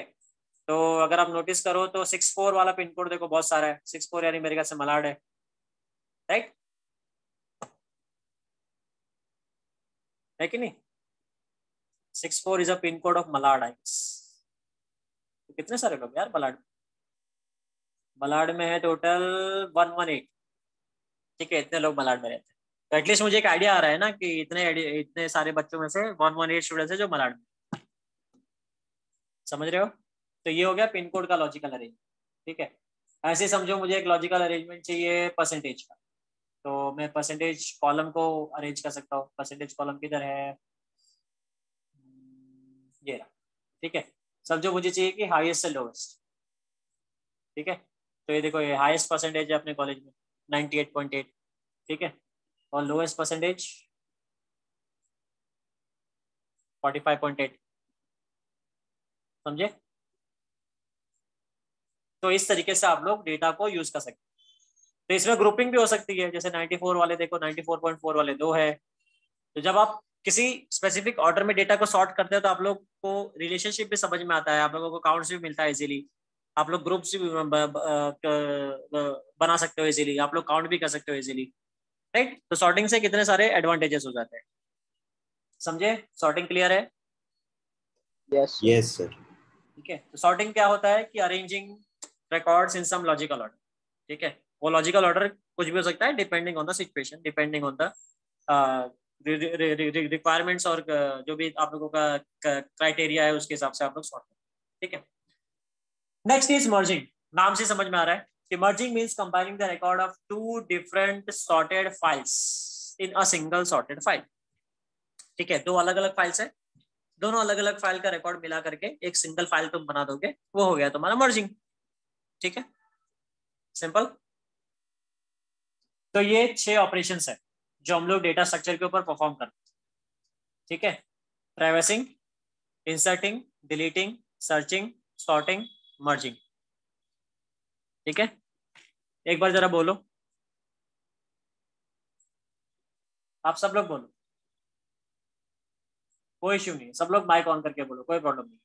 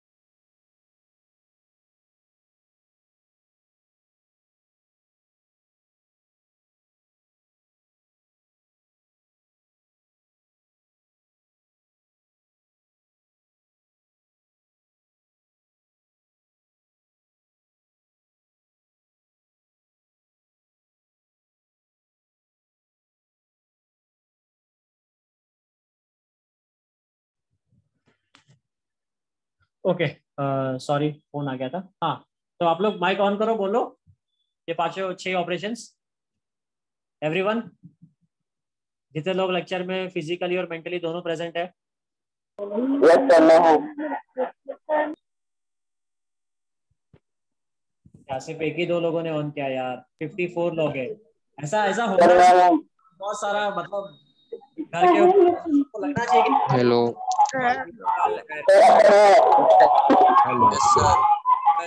हेलो हाँ बोलो हेलो नहीं बोलना वो पूरे छह Hello. ऑपरेशंस बोलने हैं।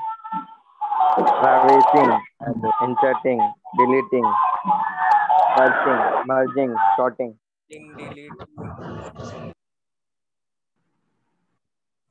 ठीक है चलो एक बार फिर से three two one traversing inserting deleting फिर searching searching sorting sorting merging merging perfect thank you very much welcome sir welcome sir पूरा सिंगिंग की मेरे साथ।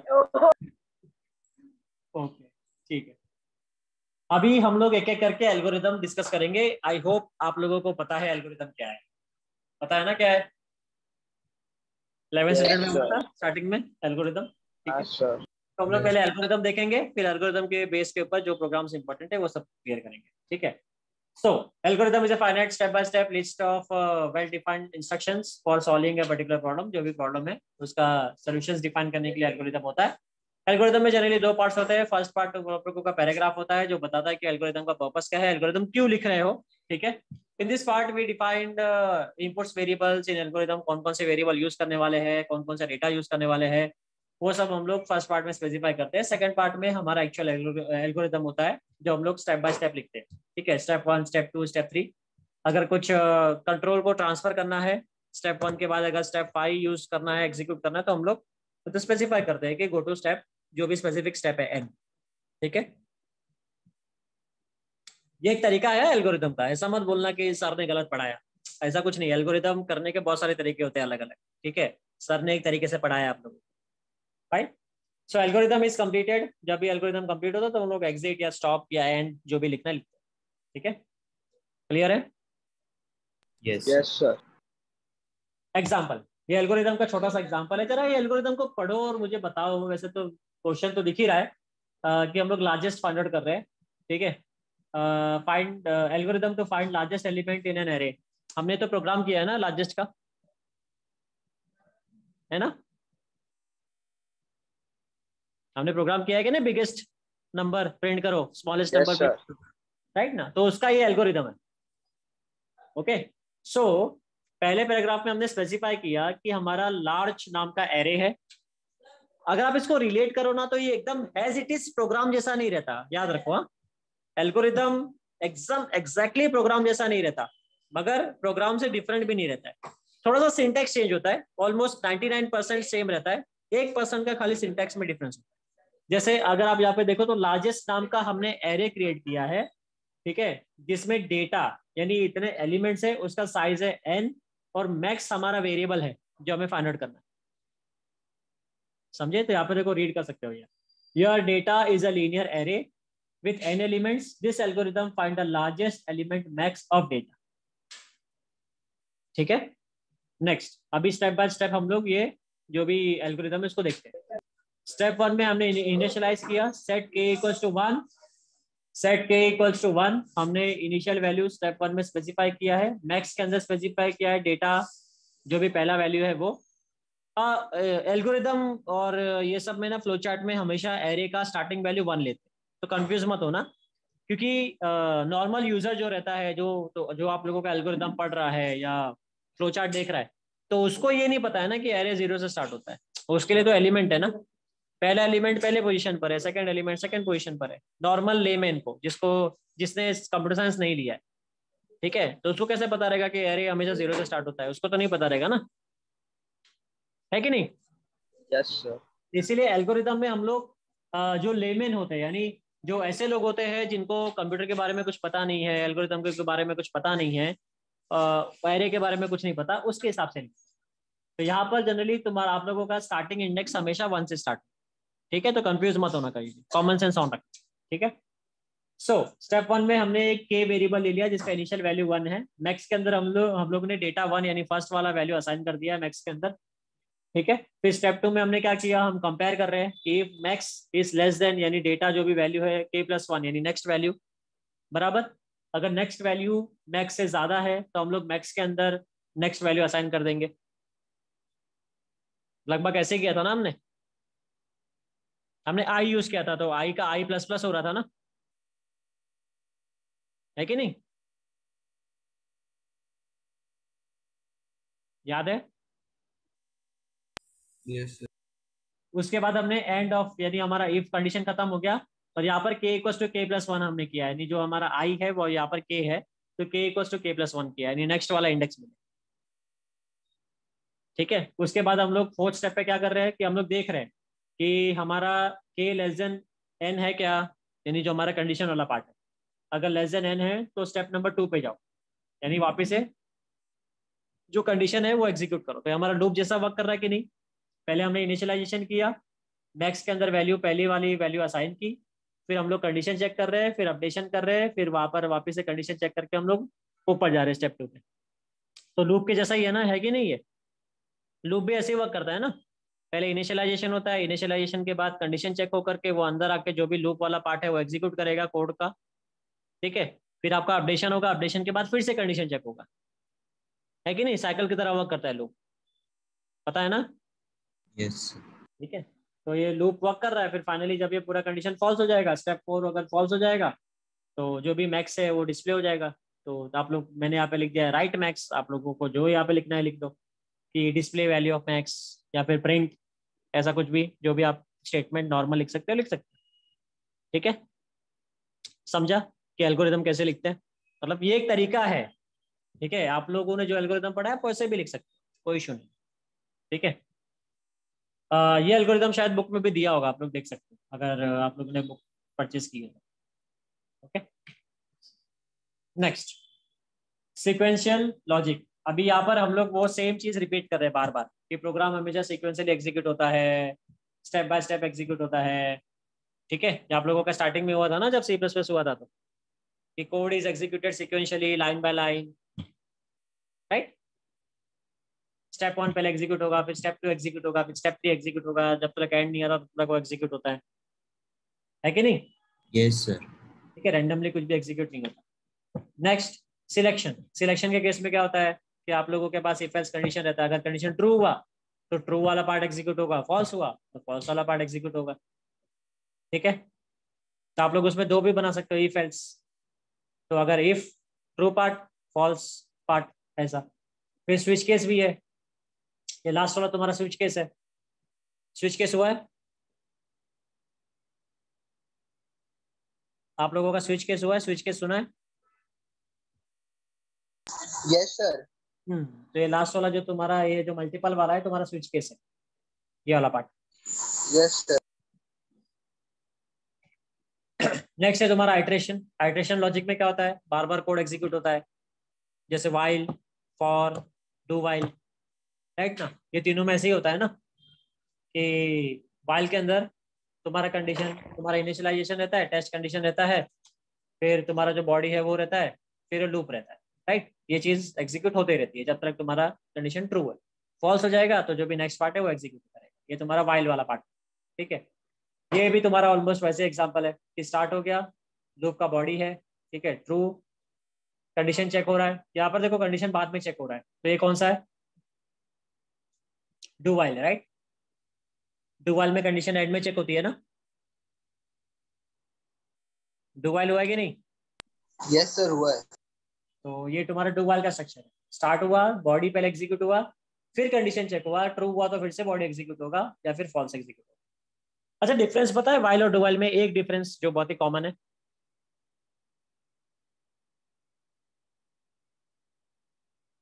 वाइल और डू वाइल में क्या डिफरेंस है? सबसे मेजर डिफरेंस वाइल और डू वाइल में क्या है? जरा याद करो, सर ने बताया होगा ऑफकोर्स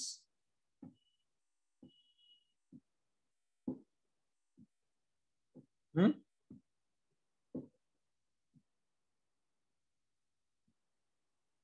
नहीं क्या रहा? सर वाइल में जो स्टेटमेंट रहता है I less than equal to वो पहले लिखते हैं और डू वाइल में बाद में। हाँ ठीक है उसके उसके वजह से क्या होता है? स्टेटमेंट नहीं कंडीशन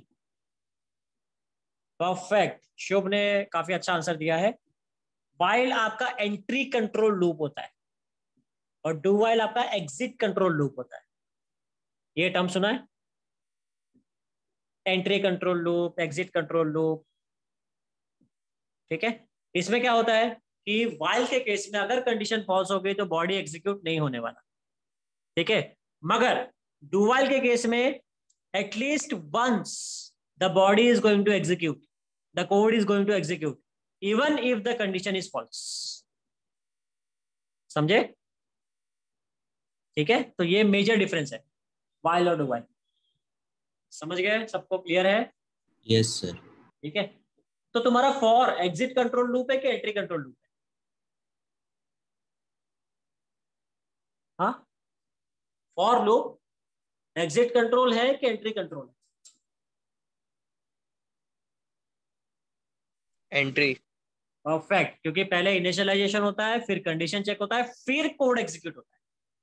ओके वेरी गुड और तुम्हारा एंट्री कंट्रोल होता है। ओके तो लूप के तीन टाइप्स होते हैं, वो आप लोगों को पता है। ठीक है? फॉर वाइल टू वाइल चलो, अब आ जाते हैं हम लोग एरे के ऊपर। एरे भी हमारा हुआ ही है, मगर एक फटाफट फिर से देख लेते हैं इसके अंदर। Data structure is set to be linear if its element form a sequence अगर एक के बाद एक अगर एलिमेंट्स है तो उसको लीनियर कहते हैं हम लोग। The linear array is a data structure is a data structure that consist of finite ordered sets of homogeneous data elements such as the element of an array are referred respectively by the index set ठीक है, जिसको subscript भी कहते हैं। N consecutive numbers का use करके आप लोग इंडेक्स यानी एरेज बनाते हो right n consecutive numbers store कर सकते हैं। फिर the element of an array are store respectively in successive memory location ठीक है। फिर the number n of an element is called length और the size of an array in general the size और the length of an array can be obtained with the formula एक formula है उससे भी हम लोग लेंथ obtain कर सकते हैं। Length equals to upper bound minus lower bound plus one upper bound यानी लास्ट वाला इंडेक्स माइनस लोअर बाउंड यानी एंड फ़र्स्ट वाला index plus one plus one यानी वन वन तो वन ही ठीक हो तो पता है। जैसे फॉर एग्ज़ाम्पल अगर अपर बाउंड है नाइन ठीक है? लोअर बाउंड है ज़ीरो ठीक है? तो टोटल टोटल एरे का साइज़ क्या हो जाएगा? टेन टेन कॉमन सेंस ठीक है? वैसे ये फॉर्मूला की भी ज़रूरत नहीं है। अगर किसी ने बोला कि अपर बाउंड नाइन है तो तुरंत ही क्लिक हो जाना चाहिए कि का साइज़ टेन है। है कि नहीं? यस सर ठीक है चलो आगे बढ़ ट्रेवर्सिंग एन एरे ठीक है? ट्रेवर्सिंग एन एरे आप लोगों का ये बोर्ड का प्रोग्राम है ठीक है? एल्गोरिदम भी आता है आप लोगों के बोर्ड में थियरी पार्ट में। प्लस ये बोर्ड का एक प्रैक्टिकल क्वेश्चन भी है ट्रेवर्सिंग एन एरे तो पहले हम लोग एल्गोरिदम देखेंगे। फिर ये बोर्ड प्रैक्टिकल है, जो ये क्वेश्चन है बोर्ड का, फिर इसका सोल्यूशन है। सोल्यूशन भी देखेंगे ठीक है, ये स्टार्ट हो जाए। फाइन क्लियर है? ओके तो हम लोग एक काम करते हैं। हम लोगों ने काफ़ी सारी चीज़ें पढ़ ली अभी के लिए। हम लोग पाँच मिनट दस मिनट का ब्रेक लेते हैं। हम लोग बारह बजे मिलते हैं। ठीक है? आप लोग भी ब्रेक ले लो। पानी वानी पी लो वॉशरूम जा लो। ठीक है? ओके ट्वेल्व ओ क्लॉक को हम लोग मिलते हैं। फाइन ओके सर सर यही लिंक पे ज्वाइन करना है। हाँ सेम लिंक लिंक नहीं है ये। यही लिंक चालू ही रहेगा ये। बस खाली आ जाना। ठीक है? ओके सर ये मैं बंद नहीं करने वाला हो सके तो आप लोग भी बंद मत करो। जो भी काम करना है करो। चालू रहने दो। क्या फ़र्क पड़ता है?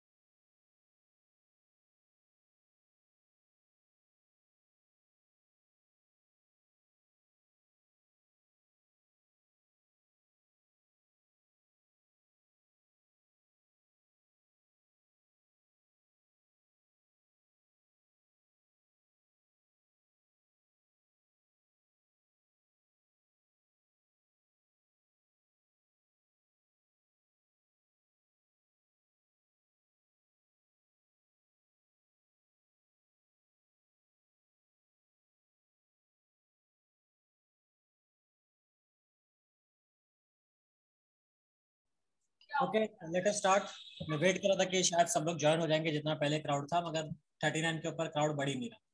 कोई बात नहीं हम स्टार्ट करते हैं। Okay so algorithm traversing an array okay your LA is a linear array with lower bound LB ठीक है? And upper bound UB algorithm applies operation process to uh, each element of LA ठीक है? Linear array यहाँ पर operation process यानी हम लोग process के अंदर कुछ भी कर सकते हैं, हमारे ऊपर रहता है। जैसे अगर आप नेक्स्ट स्लाइड देखोगे तो यहाँ पर उन्होंने क्वेश्चन में स्पेसिफाई किया है कि तुमको क्या करना है, ठीक है? तो वैसे प्रोसेस यानी यहाँ पर कुछ भी है। एडिशन करना है कि सब्ट्रैक्शन करना है कि कितने इवन है, कितने ऑर्ड है फाइंड आउट करना है, उसका सम करना है या एरे के एलिमेंट का सम एंड एवरेज निकालना है, ठीक है? वो डिपेंड करता है कि क्या क्वेश्चन वो तुम्हारा प्रोसेस है। समझे? एवरीवन आवाज़ आ रही है क्या? Yes yes sir thank you okay तो आई होप क्वेश्चन आप लोगों को समझ में आ गया होगा। अब स्टेप बाय स्टेप देखते हैं पहले एल्गोरिदम ठीक है? दो सोल्यूशन है इसका। आप लोग देख सकते हो this is solution one this is solution two exam में कोई भी सोल्यूशन करो चलेगा अगर एल्गोरिदम पूछा है तो ट्रेवर्सिंग एन एरे ठीक है? तुम लोग मेरे ख्याल से दूसरा वाला ही करोगे बोलोगे कि सर कितना इजी है दूसरा वाला। दो स्टेप में खत्म हो रहा है। कोई बात नहीं दूसरा वाला करो या पहला वाला करो। पहला वाला तुम्हारा वाइल लूप यूज़ करके दूसरा वाला फॉर लूप यूज़ करके। ठीक है? तो वाइल लूप में पहले इनिशियलाइजेशन होता है तो के इक्वल्स टू लोअर बाउंड ठीक है? जो इनिशियल वैल्यू है वो, ठीक है? फिर तुम्हारा थ्री और फोर स्टेप को रिपीट करना है टिल तुम्हारा condition that is while L is less than equal to upper bound okay और जब स्टेप थ्री करोगे तो तुम एलिमेंट को विज़िट करोगे विज़िट करोगे, यार एलिमेंट को एक्सेस कर रहे हो तुम। जब एक्सेस करोगे तब कोई भी एक प्रोसेस कोई भी ऑपरेशन वो है अप्लाई करोगे, उस पर्टिकुलर वैल्यू को। तो वैल्यू को एक्सेस करने के लिए एल ऑफ़ के लिखते हैं। राइट इंडेक्स लिखते हैं ना साथ में। तो हमारा के इंडेक्स है यहाँ पर। ओके फिर हम लोग वैल्यू इंक्रीमेंट करेंगे के का। K equal to K plus one फिर end of step two loop ये मेरा लूप है। तो इसका ये एंड है। ये स्टेप थ्री और फोर एग्जीक्यूट होता रहेगा टिल ये कंडीशन है मेरा वाइल वाला। समझे? सिंपल है? एंड में एग्जैक्ट ये क्लियर है इसमें? कुछ डाउट है किसी को?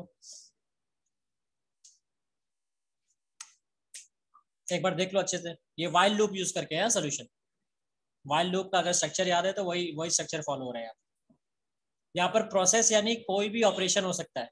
जैसे सम करना है या काउंट करना है, कितने एलिमेंट्स है, कितने ऑर्ड्स है, कितने इवेंट्स है। हमने जितना भी प्रोग्राम किया है ना, वो समझ लो प्रोसेस है। ठीक है?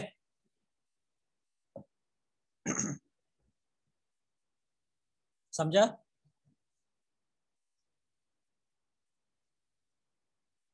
एक बार पढ़ लो पहले सोल्यूशन वन को।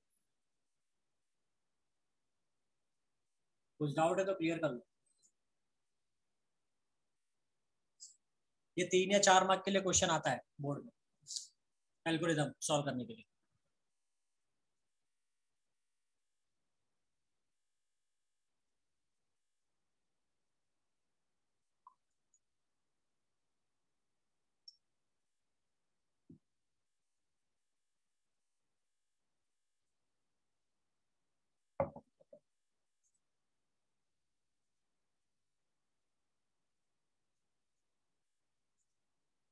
सब लोग पढ़ रहे हो कि खाली बस ऐसे बैठे हो?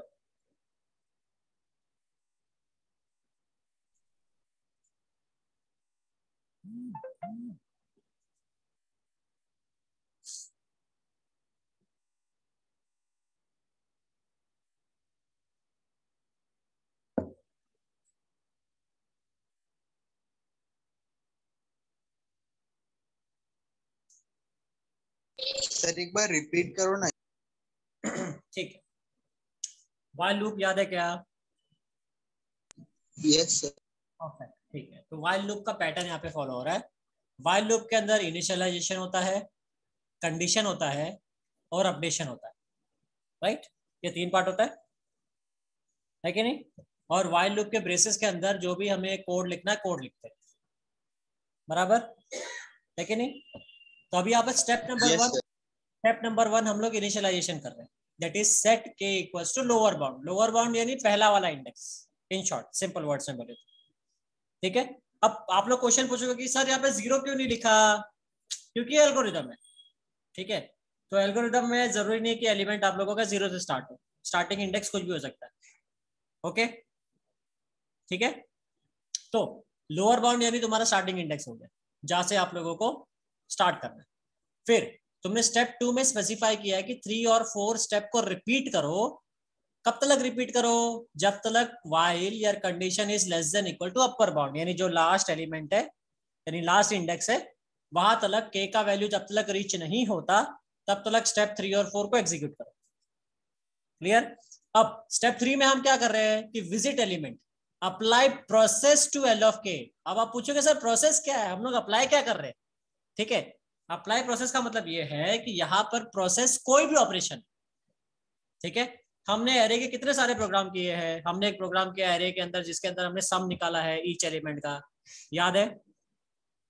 फिर हमने एक एरे का प्रोग्राम किया जिसके अंदर एवरेज निकाला है सम के साथ साथ फिर एक प्रोग्राम किया जिस, एक प्रोग्राम किया जिसके अंदर हमने total events total event number कितने हैं? फिर एक टोटल ऑड नंबर कितना है? फिर इवन का सम कितना है? ऑड का सम कितना है? ये सारे प्रोग्राम्स किए कि नहीं किए हमने?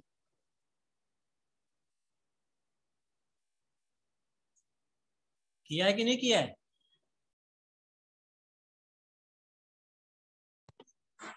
अरे बोलो यस नो बराबर। तो ये सारे प्रोग्राम को हम कहते हैं प्रोसेस यानी क्वेश्चन में क्या चाहिए? वो प्रोसेस सिंपल कुछ भी हो सकता है आप। ओके यहाँ पर हम लोग ट्रेवसिंग यानी मेन फोकस हमारा ये है कि हम एलिमेंट को विज़िट कर रहे हैं। ओके ऑपरेशन क्वेश्चन में स्पेसिफाई किया होगा कि क्या करने का समझ गए? कि apply process to L L of K ये पार्ट समझा अभी? ओके फिर स्टेप नंबर फोर में हम इंक्रीमेंट कर रहे हैं, ताकि नेक्स्ट इंडेक्स की वैल्यू मिल सके। अगर इंक्रीमेंट नहीं करेंगे तो नेक्स्ट इंडेक्स का वैल्यू कैसे मिलेगा? बराबर? ठीक है? फिर हमने स्क्वायर ब्रैकेट में स्पेसिफाई किया कि स्टेप नंबर फोर में हमारा लूप एंड होगा। मगर हमने स्टेप टू में स्पेसिफाई किया है ना कि थ्री और फोर को स्टेप एग्जीक्यूट करना है तो कोई प्रॉब्लम नहीं है थ्री और फोर एग्जीक्यूट होता रहेगा, जब तक हमारा L less than equal to upper bound clear है?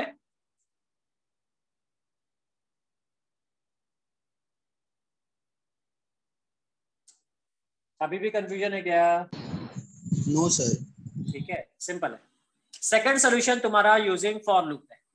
ठीक है second solution is using for loop repeat for K equals to lower bound to upper bound apply process L of K end of for खत्म.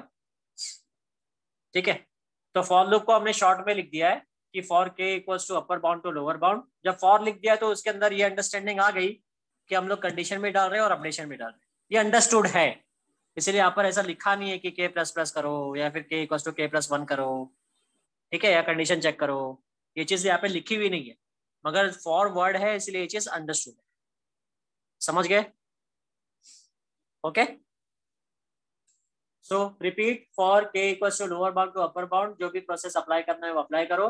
L of के को या यहाँ पर मेरा लूप खत्म हो जाएगा ये एक स्टेप में काम हो गया एंड नेक्स्ट क्लियर तो ये दो सोल्यूशन है एग्ज़ाम में दोनों में से कोई भी एक सोल्यूशन लिख सकते हो अगर क्वेश्चन में आया तो बोर्ड में आया तो.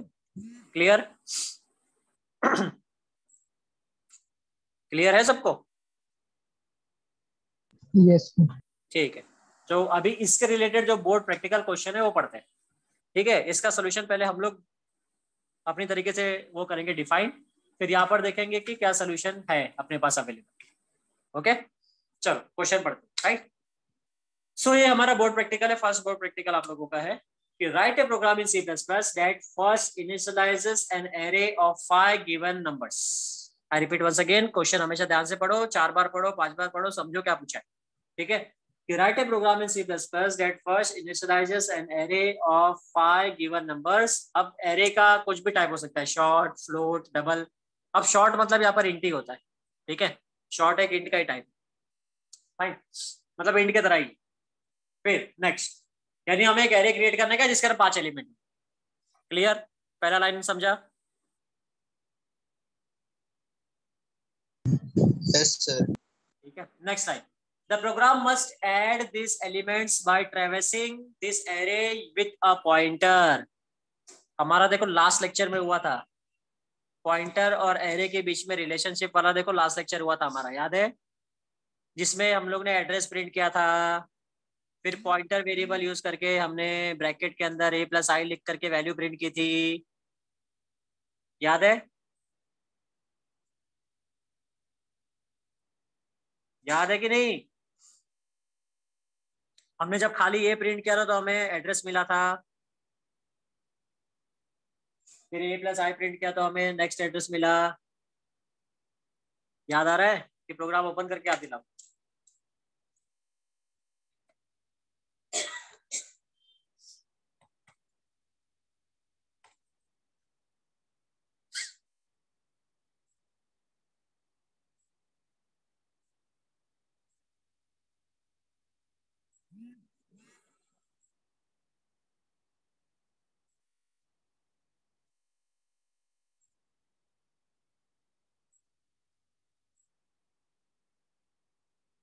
एरे पॉइंटर ये वाला प्रोग्राम याद है? जिससे हम जिसमें हमने एड्रेस प्रिंट किया था। फिर हमने लूप यूज़ करके एड्रेस प्रिंट किया था। फिर हमने पॉइंटर यूज़ करके वैल्यू प्रिंट की थी। लूप यूज़ करके। फिर ये हमने इंडेक्स यूज़ करके वैल्यू प्रिंट किया। याद है कि भूल गए प्रोग्राम याद है सर। ठीक है। वीडियो देख लिया करो, अपलोड कर देता आप लोगों के लिए करता हूँ। ओके। फाइन तो ये वाला लॉजिक यूज़ करना है आप। ये पर्टिकुलर क्वेश्चन ठीक है? कि हमें सम करना है, यानी एडिशन करना है, जितने भी एलिमेंट्स है, जितने भी नंबर्स है उस पर्टिकुलर एरे में। और, मगर एडिशन करते वक्त हमें पॉइंटर यूज़ करना ठीक है? नॉर्मल इंडेक्स यूज़ करके एडिशन नहीं करना। ठीक है? तो अगर पॉइंटर यूज़ करना है, बोला है तो हमें ये वाला लॉजिक यूज़ करना पड़ेगा। ये। ठीक है, जिसके अंदर स्टार ब्रैकेट के अंदर पैरेंथेसिस के अंदर ए प्लस आई समझे? विजिबल है कि जूम करो? ये देखो, ये वाला लॉजिक ठीक है? ओके नेक्स्ट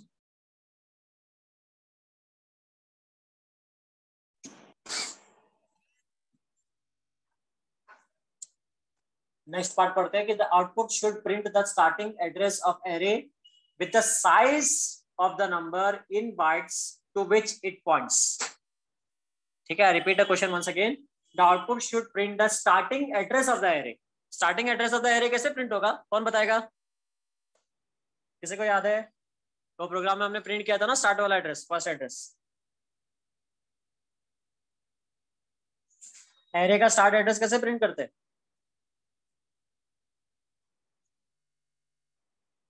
आप लोग वीडियो देखते क्यों नहीं देखते हो? लेक्चर खत्म होने के बाद, जो मैं अपलोड करता हूँ।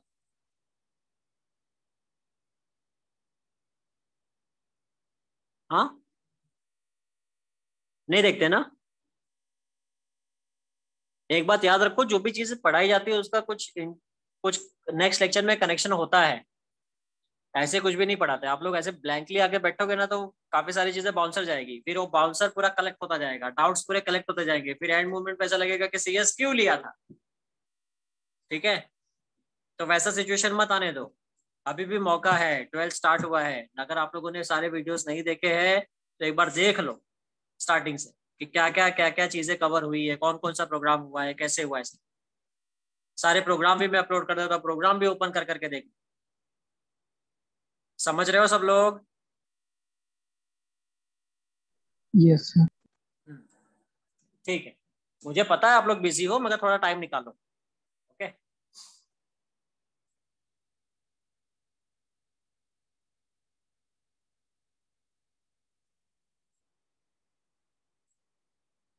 ओके तो आउटपुट हमें प्रिंट करने का स्टार्टिंग एड्रेस ठीक है? हम ये प्रोग्राम करेंगे तब देख लेंगे फटाफट। कि स्टार्टिंग स्टार्टिंग एड्रेस हम लोग a of a plus zero से प्रिंट कर सकते हैं। ये देखो, यहाँ पर हमने प्रिंट किया है। ये मेरा स्टार्टिंग एड्रेस है। प्लस ज़ीरो लिखूँगा तो भी मुझे मिलेगा। तो प्लस ज़ीरो लिखना ज़्यादा कन्वीनियंट होता है। तो अगर मैं ए प्लस ज़ीरो लिखता हूँ तो मुझे स्टार्टिंग एड्रेस मिल जाता है। ठीक है? तो देखो, यहाँ पे लिखा है कमेंट में address of the first index ठीक है? फ़र्स्ट इंडेक्स का जो भी एड्रेस है वो यहाँ पर डिस्प्ले हो जाएगा। अगर मैंने ए प्लस ज़ीरो लिखा तो। सेकेंड इंडेक्स के लिए a plus one third index के लिए ए प्लस टू ठीक है? अब यहाँ पर आगे क्वेश्चन पढ़ते क्या दिया हुआ है? और मुझे क्या प्रिंट करने का साइज़ साइज़ के लिए साइज़ ऑफ़ करके एक फ़ंक्शन है।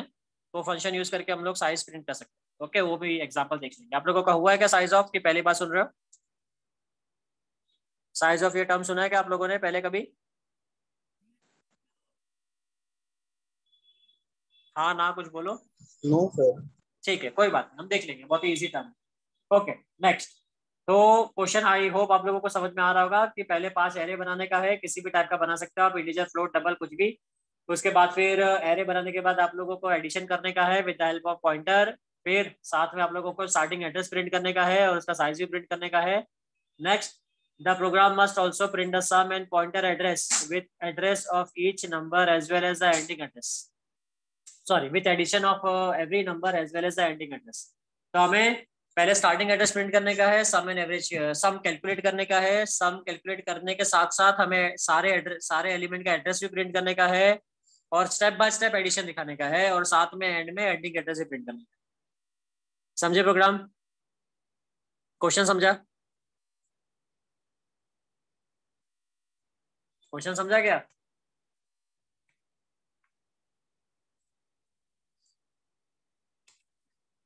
एग्जांपल लेते हैं। यस सर समझो इंट ए ऑफ़ फाइव मैंने एरे बनाया है ठीक है? वैल्यूज़ उसके हो गए one two three four five okay index हो गया zero one one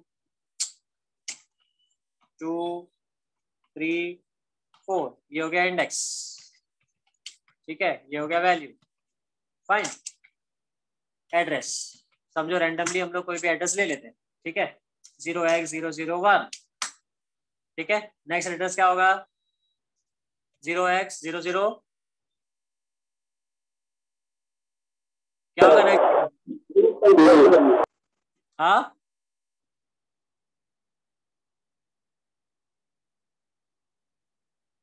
क्या होगा नेक्स्ट एड्रेस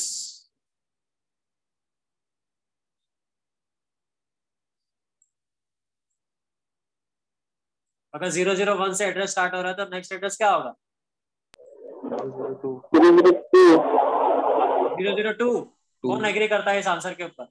हाथ रेस करो।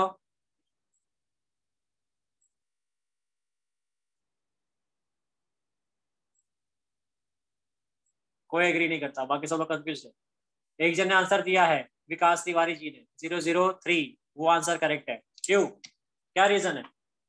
मैंने ज़ीरो ज़ीरो टू क्यों नहीं लिखा? हाँ? क्या रीजन है? रीजन पता है किसी को? याद है? वैसे बताया था, मगर आप लोगों को याद होना चाहिए। बोलो। क्या रीजन है?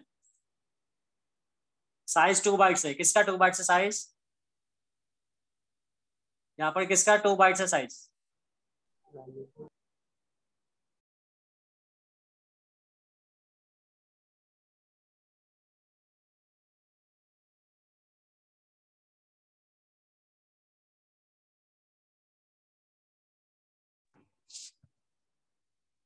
हाँ two bytes two bytes correct है, मगर क्यों टू बाइट्स फोर बाइट क्यों नहीं? वन बाइट क्यों नहीं?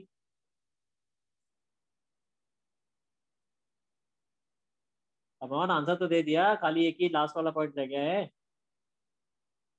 Integer perfect integer array create किया है, इसलिए टू बाइट्स ऑक्यूपाई करेगा हर एक वैल्यू जितना भी आप लोग एलिमेंट दोगे, हर एक एलिमेंट के लिए two two bytes of address occupy होगा। तो zero x zero zero one zero x zero zero two, ये दोनों एड्रेस ठीक है? ये पर्टिकुलर वैल्यू और इंडेक्स के लिए। समझे? ठीक उसी हिसाब से zero x zero zero four zero three और ज़ीरो फोर दोबारा इसके लिए है। सेकंड वाला जो वैल्यू है फ़र्स्ट इंडेक्स के लिए। समझे? अब क्लियर है? देखते ये सेट ठीक है? तो zero x zero zero five और zero x zero zero six third के लिए है सेवन एट तुम्हारे इसके लिए है नाइन और टेन तुम्हारा इसके लिए। मगर जब हम लोग इसका एड्रेस फैच करेंगे ना इस पर्टिकुलर इंडेक्स का तो फ़र्स्ट एड्रेस ही दिखा, दिखाता है वो सेकेंड एड्रेस नहीं दिखाता। इतना याद रखो। जब विजिबल होगा ना आउटपुट तो आउटपुट में यही पार्ट विजिबल होगा। ओके ये पार्ट विजिबल नहीं होने वाला। मगर ये अंडरस्टूड है कि ये दो बाइट ऑक्यूपाई कर रहा है। क्लियर है? क्लियर है सबको? एड्रेस का लॉजिक समझा? यस सर अब ये वाला कॉन्सेप्ट यूज़ करेंगे और ये प्रोग्राम में हम लोग क्वेश्चन को पहले अंडरस्टैंड करते कि तुम्हें हर एक वैल्यू को एक्सेस करना है ठीक है? तुम्हें स्टार्टिंग एड्रेस प्रिंट करना है। स्टार्टिंग एड्रेस प्रिंट करने के लिए तुम C out a plus zero use करके प्रिंट कर सकते हो। यहाँ पर ज़ीरो तुम्हारा इंडेक्स ठीक है? ज़ीरो तुम्हारा इंडेक्स तो ए प्लस ज़ीरो से तुम स्टार्टिंग एड्रेस प्रिंट कर सकते ओके फिर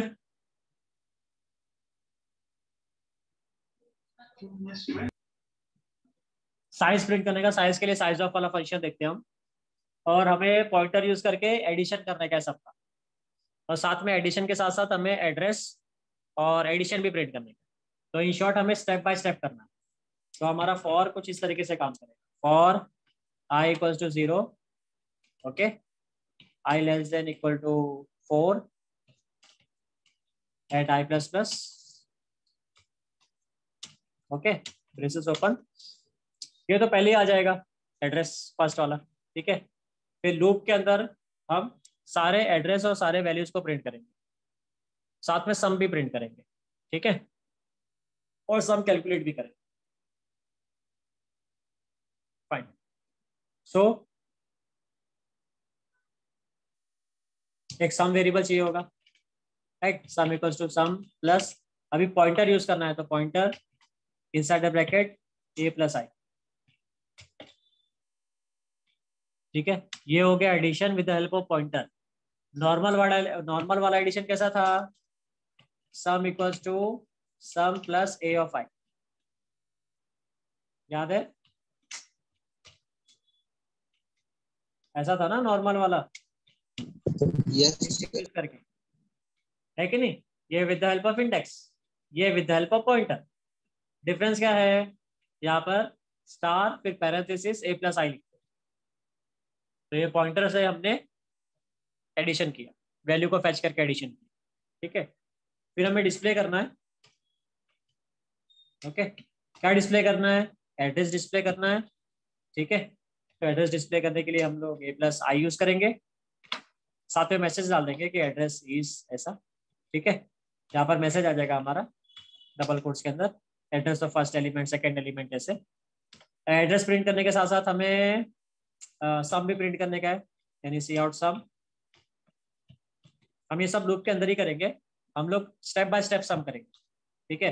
यानी पहले फ़र्स्ट एड्रेस और उसका सम प्रिंट होगा। यानी पहले प्रिंट होगा zero x zero zero one and one फिर सेकेंड एड्रेस और सम प्रिंट होगा। यानी यहाँ पर आएगा थ्री सम इन दोनों का। ठीक है तो यहाँ पर आउटपुट थ्री आएगा। फिर थर्ड जब जब थर्ड टाइम लूप एग्जीक्यूट होगा तो ये एड्रेस प्रिंट होगा, साथ में सम प्रिंट होगा that is six that is one plus two plus three समझ रहे हो? जब फोर्थ टाइम लूप एग्जीक्यूट होगा, तब सम आएगा टेन साथ में ये एड्रेस आएगा। जब फिफ्थ टाइम लूप एग्जीक्यूट होगा तो सम फिफ्टीन आएगा साथ में एड्रेस आएगा। समझे? समझे? क्या हो रहा है इसके अंदर? क्लियर है?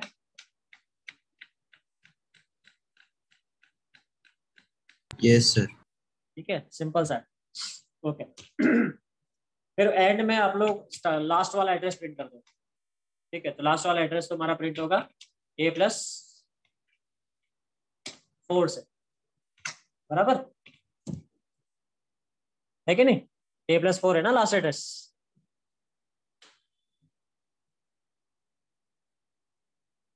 ठीक है लास्ट एड्रेस हमारा ए प्लस फोर है। क्लियर है? ए प्लस फोर कैसे समझा?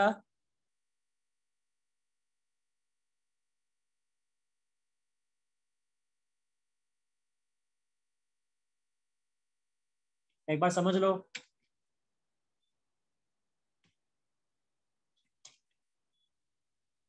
कुछ कुछ पार्ट समझा होगा कुछ नहीं समझा होगा कोई बात नहीं। थोड़ा तो समझा है कि हम लोग करना क्या चाहते हैं। ठीक है? तो अभी हम लोग इसका प्रोग्राम लिखना शुरू करते हैं। फाइन उसके पहले देख लेते हैं कि इसके अंदर कौन सा सोल्यूशन दिया हुआ है। ठीक है? सिंपल वाला देखते हैं कि सिंपल वाला दिया है कि एक एक करके हमने प्रिंट किया वैसा। है ठीक है। एक एक करके प्रिंट किया। ठीक चलेगा। इस तरीके का आउटपुट आएगा, ठीक है? हम क्या करेंगे कि आउटपुट के हिसाब से हमारा कोड लिखते हैं फाइन चलो सी प्लस प्लस स्टार्ट करते हैं।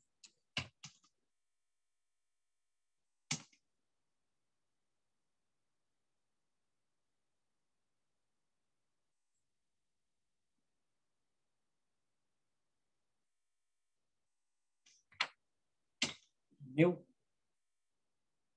स्टार्ट करने से पहले एक फोल्डर बना देता हूँ बोर्ड के नाम से। उसके अंदर हम लोग बोर्ड का क्वेश्चन जितना भी रहेगा ना वो, स्टोर करेंगे ताकि कंफ्यूजन ना हो और आप लोगों को भी एक्सेस करने में इजी रहेगा। तो एक बोर्ड नाम का फोल्डर बना देता हूँ। इसमें जितने भी बोर्ड के क्वेश्चन रहेंगे ना प्रैक्टिकल वो वाले सॉल्व करेंगे वो वाले स्टोर करेंगे ठीक है? ओके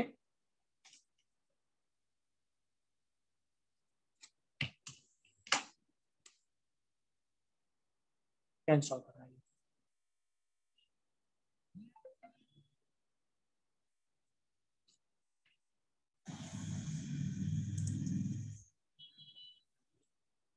अब ये क्या हो गया?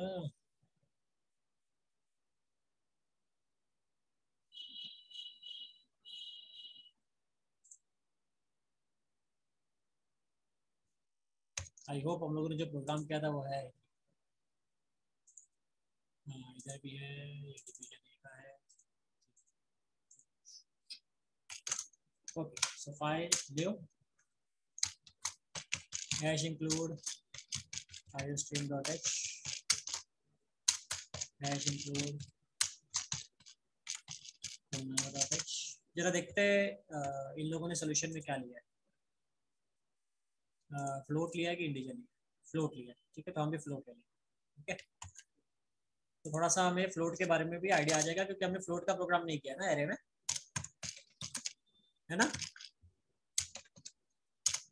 किया है क्या? अरे कुछ बोलो। फ्लोट एरे क्रिएट करके प्रोग्राम किया क्या एक भी हमने? नो सर है तो ये वाला प्रोग्राम हम लोग फ्लोट से करेंगे okay so float a of five ठीक है?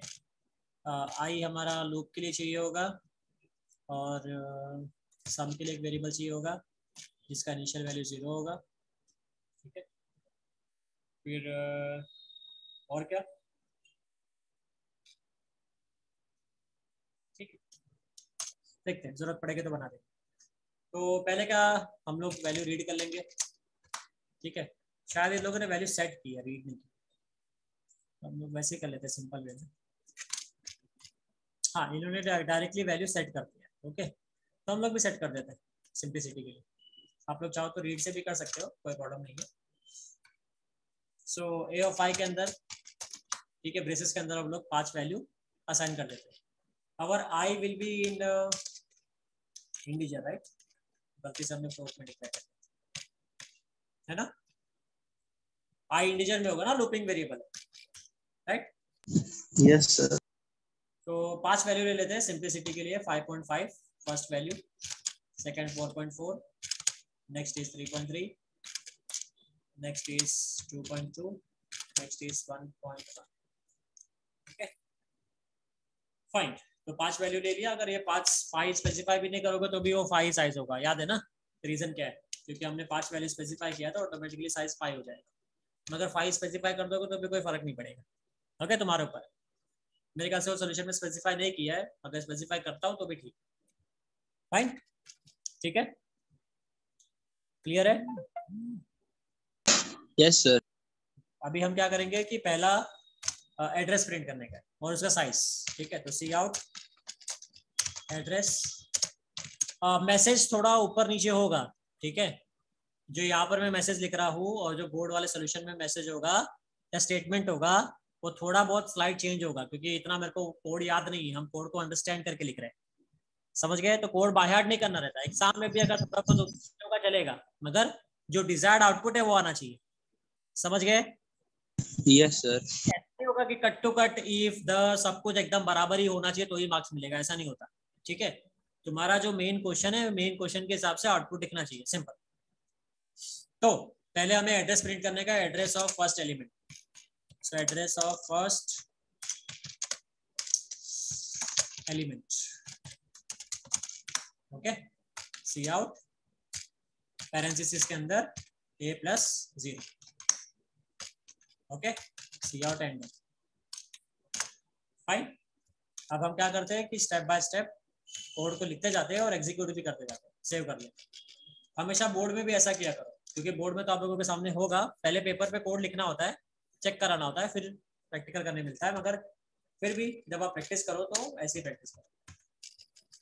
So this is our traversing traverse ठीक है? ट्रेवेसिंग एन एरे वाला प्रोग्राम है ये। हम इसे एग्जीक्यूट करते हैं पहले कंपाइल कर लेते हैं। देर इज़ वन वार्निंग हाँ सम को यूज़ नहीं किया हमने कोई बात नहीं। तो आ गया एड्रेस ऑफ़ फ़र्स्ट एलिमेंट ठीक है? यहाँ तक हम सही जा रहे हैं? ओके यस सर चलो अभी आगे बढ़ते हैं। एड्रेस के साथ साथ हमें साइज़ भी चाहिए था ना? है ना? Size of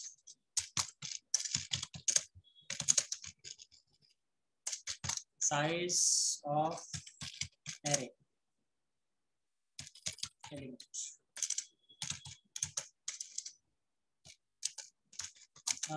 precise word ऐसा रहेगा कि size of each size of each array ठीक है? हर एरे एलिमेंट का साइज़ तो सेम ही रहने वाला है। तो हम लोग प्रिंट कर रहे हैं। उसके लिए यहाँ पर ध्यान दो अच्छे से। साइज़ ऑफ़ एक करके एक फ़ंक्शन है। साइज़ ऑफ़ सिंगल वर्ड है। ठीक है? और अगर तुम ब्रैकेट के अंदर पहला वाला वैल्यू प्रोवाइड कर दोगे तो उसका साइज़ मिल जाएगा। ठीक है? या अगर तुम खाली बस ए लिखोगे तो भी शायद साइज़ मिल जाएगा लेट्स सी ए से साइज़ मिल जाएगी। कंपाइल एग्जीक्यूट 20 तो ये क्या कर रहा है? पूरा साइज़ दे रहा है ना? 5 फोर ट्वेंटी फ्लोट का साइज़ क्या होता है? फ्लोट का साइज़ क्या होता है? फोर बाइट्स राइट कितने एलिमेंट्स यहाँ पर? फाइव तो फाइव फोर सा कितना हो जाएगा? यस सर ट्वेंटी उसने पूरा ट्वेंटी साइज़ दे दिया। मगर हमें पूरा साइज़ नहीं चाहिए। हमें ईच एलिमेंट कितना ऑक्यूपाई कर रहा है वो साइज़ चाहिए। तो उस केस में मैं ए प्लस ज़ीरो लिख दूँगा। सिंपल अगर ए प्लस ज़ीरो लिख दूँगा तो पहले मतलब एक ही का वो साइज़ देगा तो एक का साइज़ देगा तो इनडायरेक्टली सबका साइज़ दे रहा है वो। अब यहाँ पर टू क्यों आ रहा है? आई hmm, गेस मुझे यहाँ पर कुछ और लिखना पड़ेगा। एक सेकंड रुको अच्छा स्टार अच्छा बेस एड्रेस अच्छा बेस वैल्यू स्टार यानी हमें वैल्यू से साइज़ मिलेगी एड्रेस से साइज़ नहीं मिलेगा। ठीक है so I to write star star address ठीक खाली स्टार से भी काम हो जाएगा मेरा। Let us compile this execute ठीक है तो फोर आ गया. Size of each uh element four right okay so four क्या है? फोर बाइट्स है ना? So we will specify the word byte okay तो आप थोड़ा आंसर सही देखें. फाइन तो size of each array element four bytes clear है? तो फ़र्स्ट एड्रेस आ गया. साइज़ आ गया। ठीक है? वैल्यू भी प्रिंट किया था। आउटपुट में तो हम लोग वैल्यू भी प्रिंट कर देते हैं। C out value of your mobile value of first address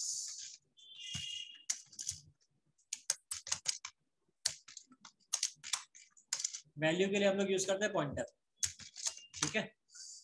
A plus zero लिखोगे तो पहला ही मिलता है, खाली ए लिखोगे तो भी पहला ही कंसिडर होता है। मगर तुम्हारे ऊपर है कि आप लोगों को क्या करने लगता है। यहाँ पर अगर खाली आपने इतना लिखा ना, खाली ए तो भी आप लोगों को करेक्ट आंसर मिलेगा। ठीक है? क्योंकि ए फ़र्स्ट इंडेक्स को ही वो कर रहा है रिफर कर रहा है। समझ रहे हो? ओके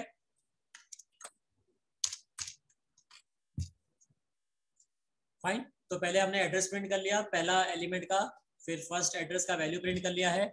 और जो हमारा एरे है ईच एलिमेंट का साइज़ क्या है वो भी प्रिंट कर दिया है। यहाँ तक कोड क्लियर है सबको? एवरीवन अरे कुछ बोलो यस नो यस सर अब हम ट्रेवेस करते हैं। ट्रेवेस करके ईच एलिमेंट का एड्रेस और वैल्यू प्रिंट करते हैं। So for i equals to 0 i less than equal to 4 and i plus plus. Braces open, braces close. और हमें करना है सम तो sum equals to sum plus अभी सम करना था पॉइंटर यूज़ करके. सो पॉइंटर ठीक है? पैरेंथेसिस के अंदर a plus I Clear? Okay. Clear. See out. Address of i plus 1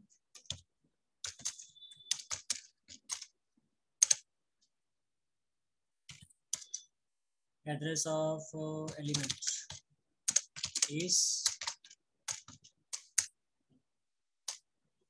address कैसे आएगा? कि क्या लिखो यहाँ पर पैरेंथेसिस में? हम लोग लूप के अंदर लिख रहे हैं। बोलो जल्दी।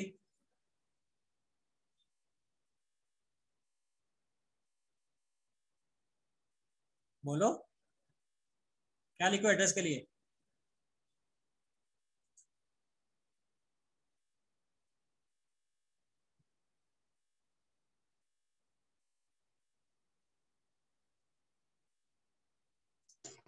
सर ए आएगा।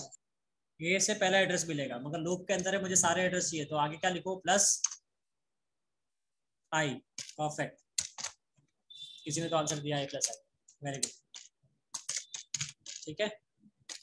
तो ये क्या करेगा? Address of first element address of second element ऐसा नंबर के साथ साथ एड्रेस प्रिंट करेगा एक एक करके। एड्रेस के साथ साथ हम उसका सम भी प्रिंट करेंगे। Sum sum of first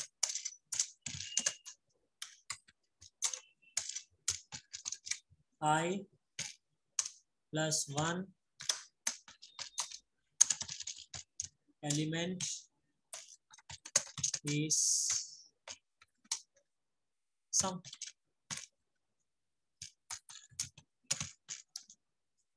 समझा? क्या किया हमने इसके अंदर? लूप हमने स्टार्ट किया लूप स्टार्ट करके सम कैलकुलेट किया। सम कैलकुलेट करने के बाद हमने एड्रेस प्रिंट किया। एड्रेस प्रिंट करने के बाद हम लोग first one number two number three number जितने भी नंबर है, उसका एडिशन हम मैसेज डिस्प्ले करके प्रिंट करते जा रहे समझ रहे आउटपुट देखो तो और अच्छे समझे। ये देखो।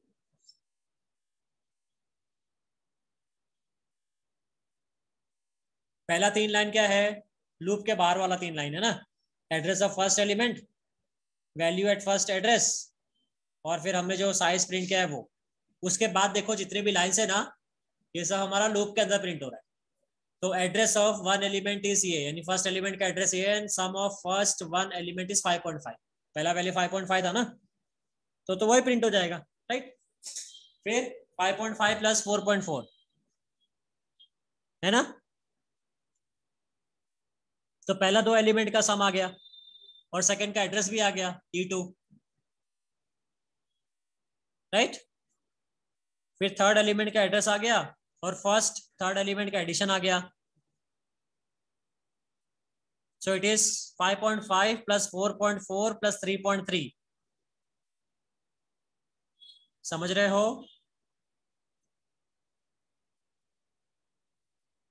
आउटपुट समझ रहे हैं क्या सबको? हाँ सर ठीक है? फिर फोर्थ वैल्यू प्रिंट हुआ है फोर्थ एड्रेस प्रिंट हुआ है और फोर्थ नंबर तक का जो एडिशन था वो प्रिंट हुआ है। फिर फिफ्थ फिफ्थ एड्रेस प्रिंट हुआ है और फिफ्थ एड्रेस तक का जो एडिशन था वो प्रिंट हुआ है। ओके तो यहाँ तक हमारा एड्रेस और ये हो गया। अभी लास्ट में वापस से last address last value print करने का। तो इसकी कॉपी पेस्ट करते हैं। कॉपी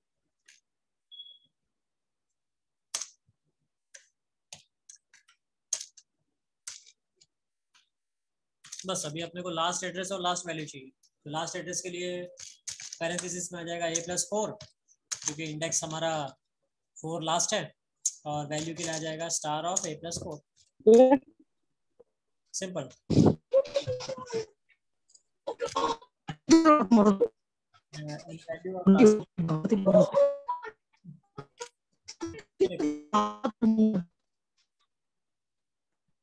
ठीक है।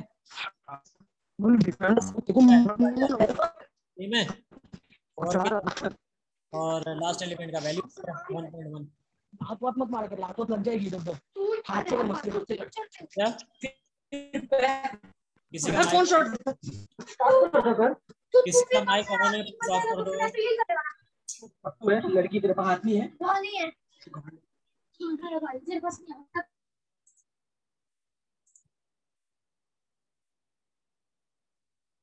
ओके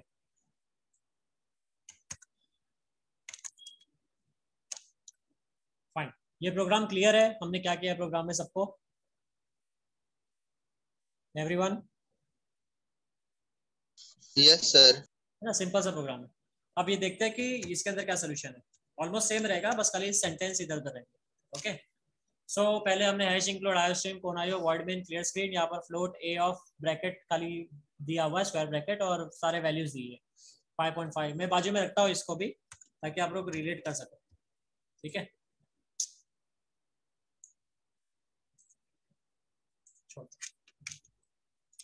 ओके 5.5 4.4 3.3 2.2 1.1 ये पाँच वैल्यूज़ हो गया सम हो गया ज़ीरो और इन टाइम फिर हमने बेस एड्रेस यानी स्टार्टिंग एड्रेस चाहे आप फ़र्स्ट एड्रेस लिखो बेस एड्रेस लिखो स्टार्टिंग एड्रेस लिखो, तीनों का मीनिंग सेम ही होता है। ओके यहाँ पर हमने स्लैश एन यूज़ किया है एंडल के बदले। आप लोग स्लैश एन भी यूज़ कर सकते हो या एंडल भी यूज़ कर सकते हो।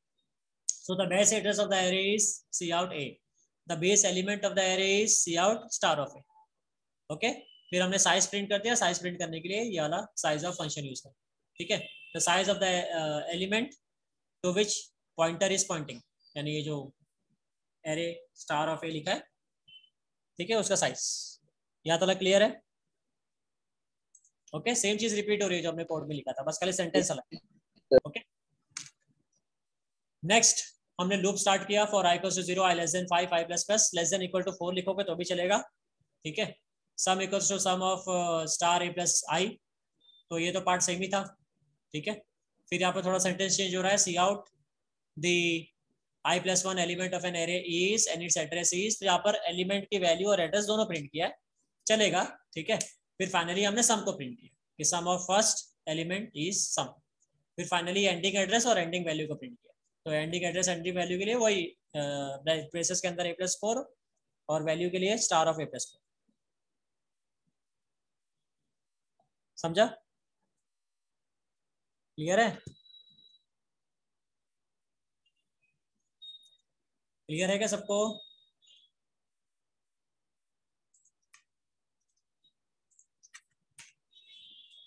कुछ यस नो बोलो। यस सर ठीक है, ये इसका आउटपुट है, ठीक है? तो बेस एड्रेस प्रिंट हो रहा है बेस एलिमेंट जो वैल्यू है वो प्रिंट हो रहा है साइज़ प्रिंट हो रहा है, फिर हमने वैल्यू और एड्रेस के साथ यहाँ पर सम प्रिंट किया है। जो हमने प्रोग्राम किया था, उसमें खाली एड्रेस प्रिंट किया था तो हम छोटा सा चेंज कर देते हमारे वाले प्रोग्राम में भी हम वैल्यू ऐड कर देते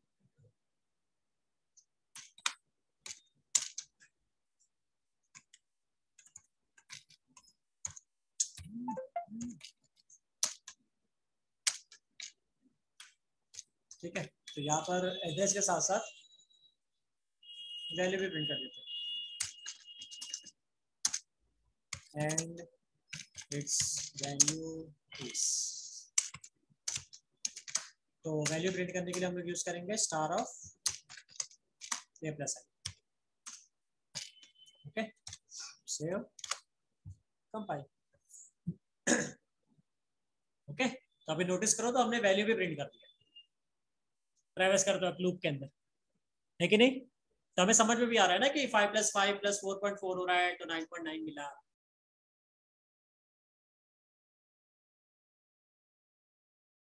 टू पॉइंट ऐड हो रहा है थर्टीन पॉइंट टू में तो फिफ्टीन पॉइंट फोर मिला। फिर finally one point one add हो रहा है तो सिक्सटीन पॉइंट फाइव मिला।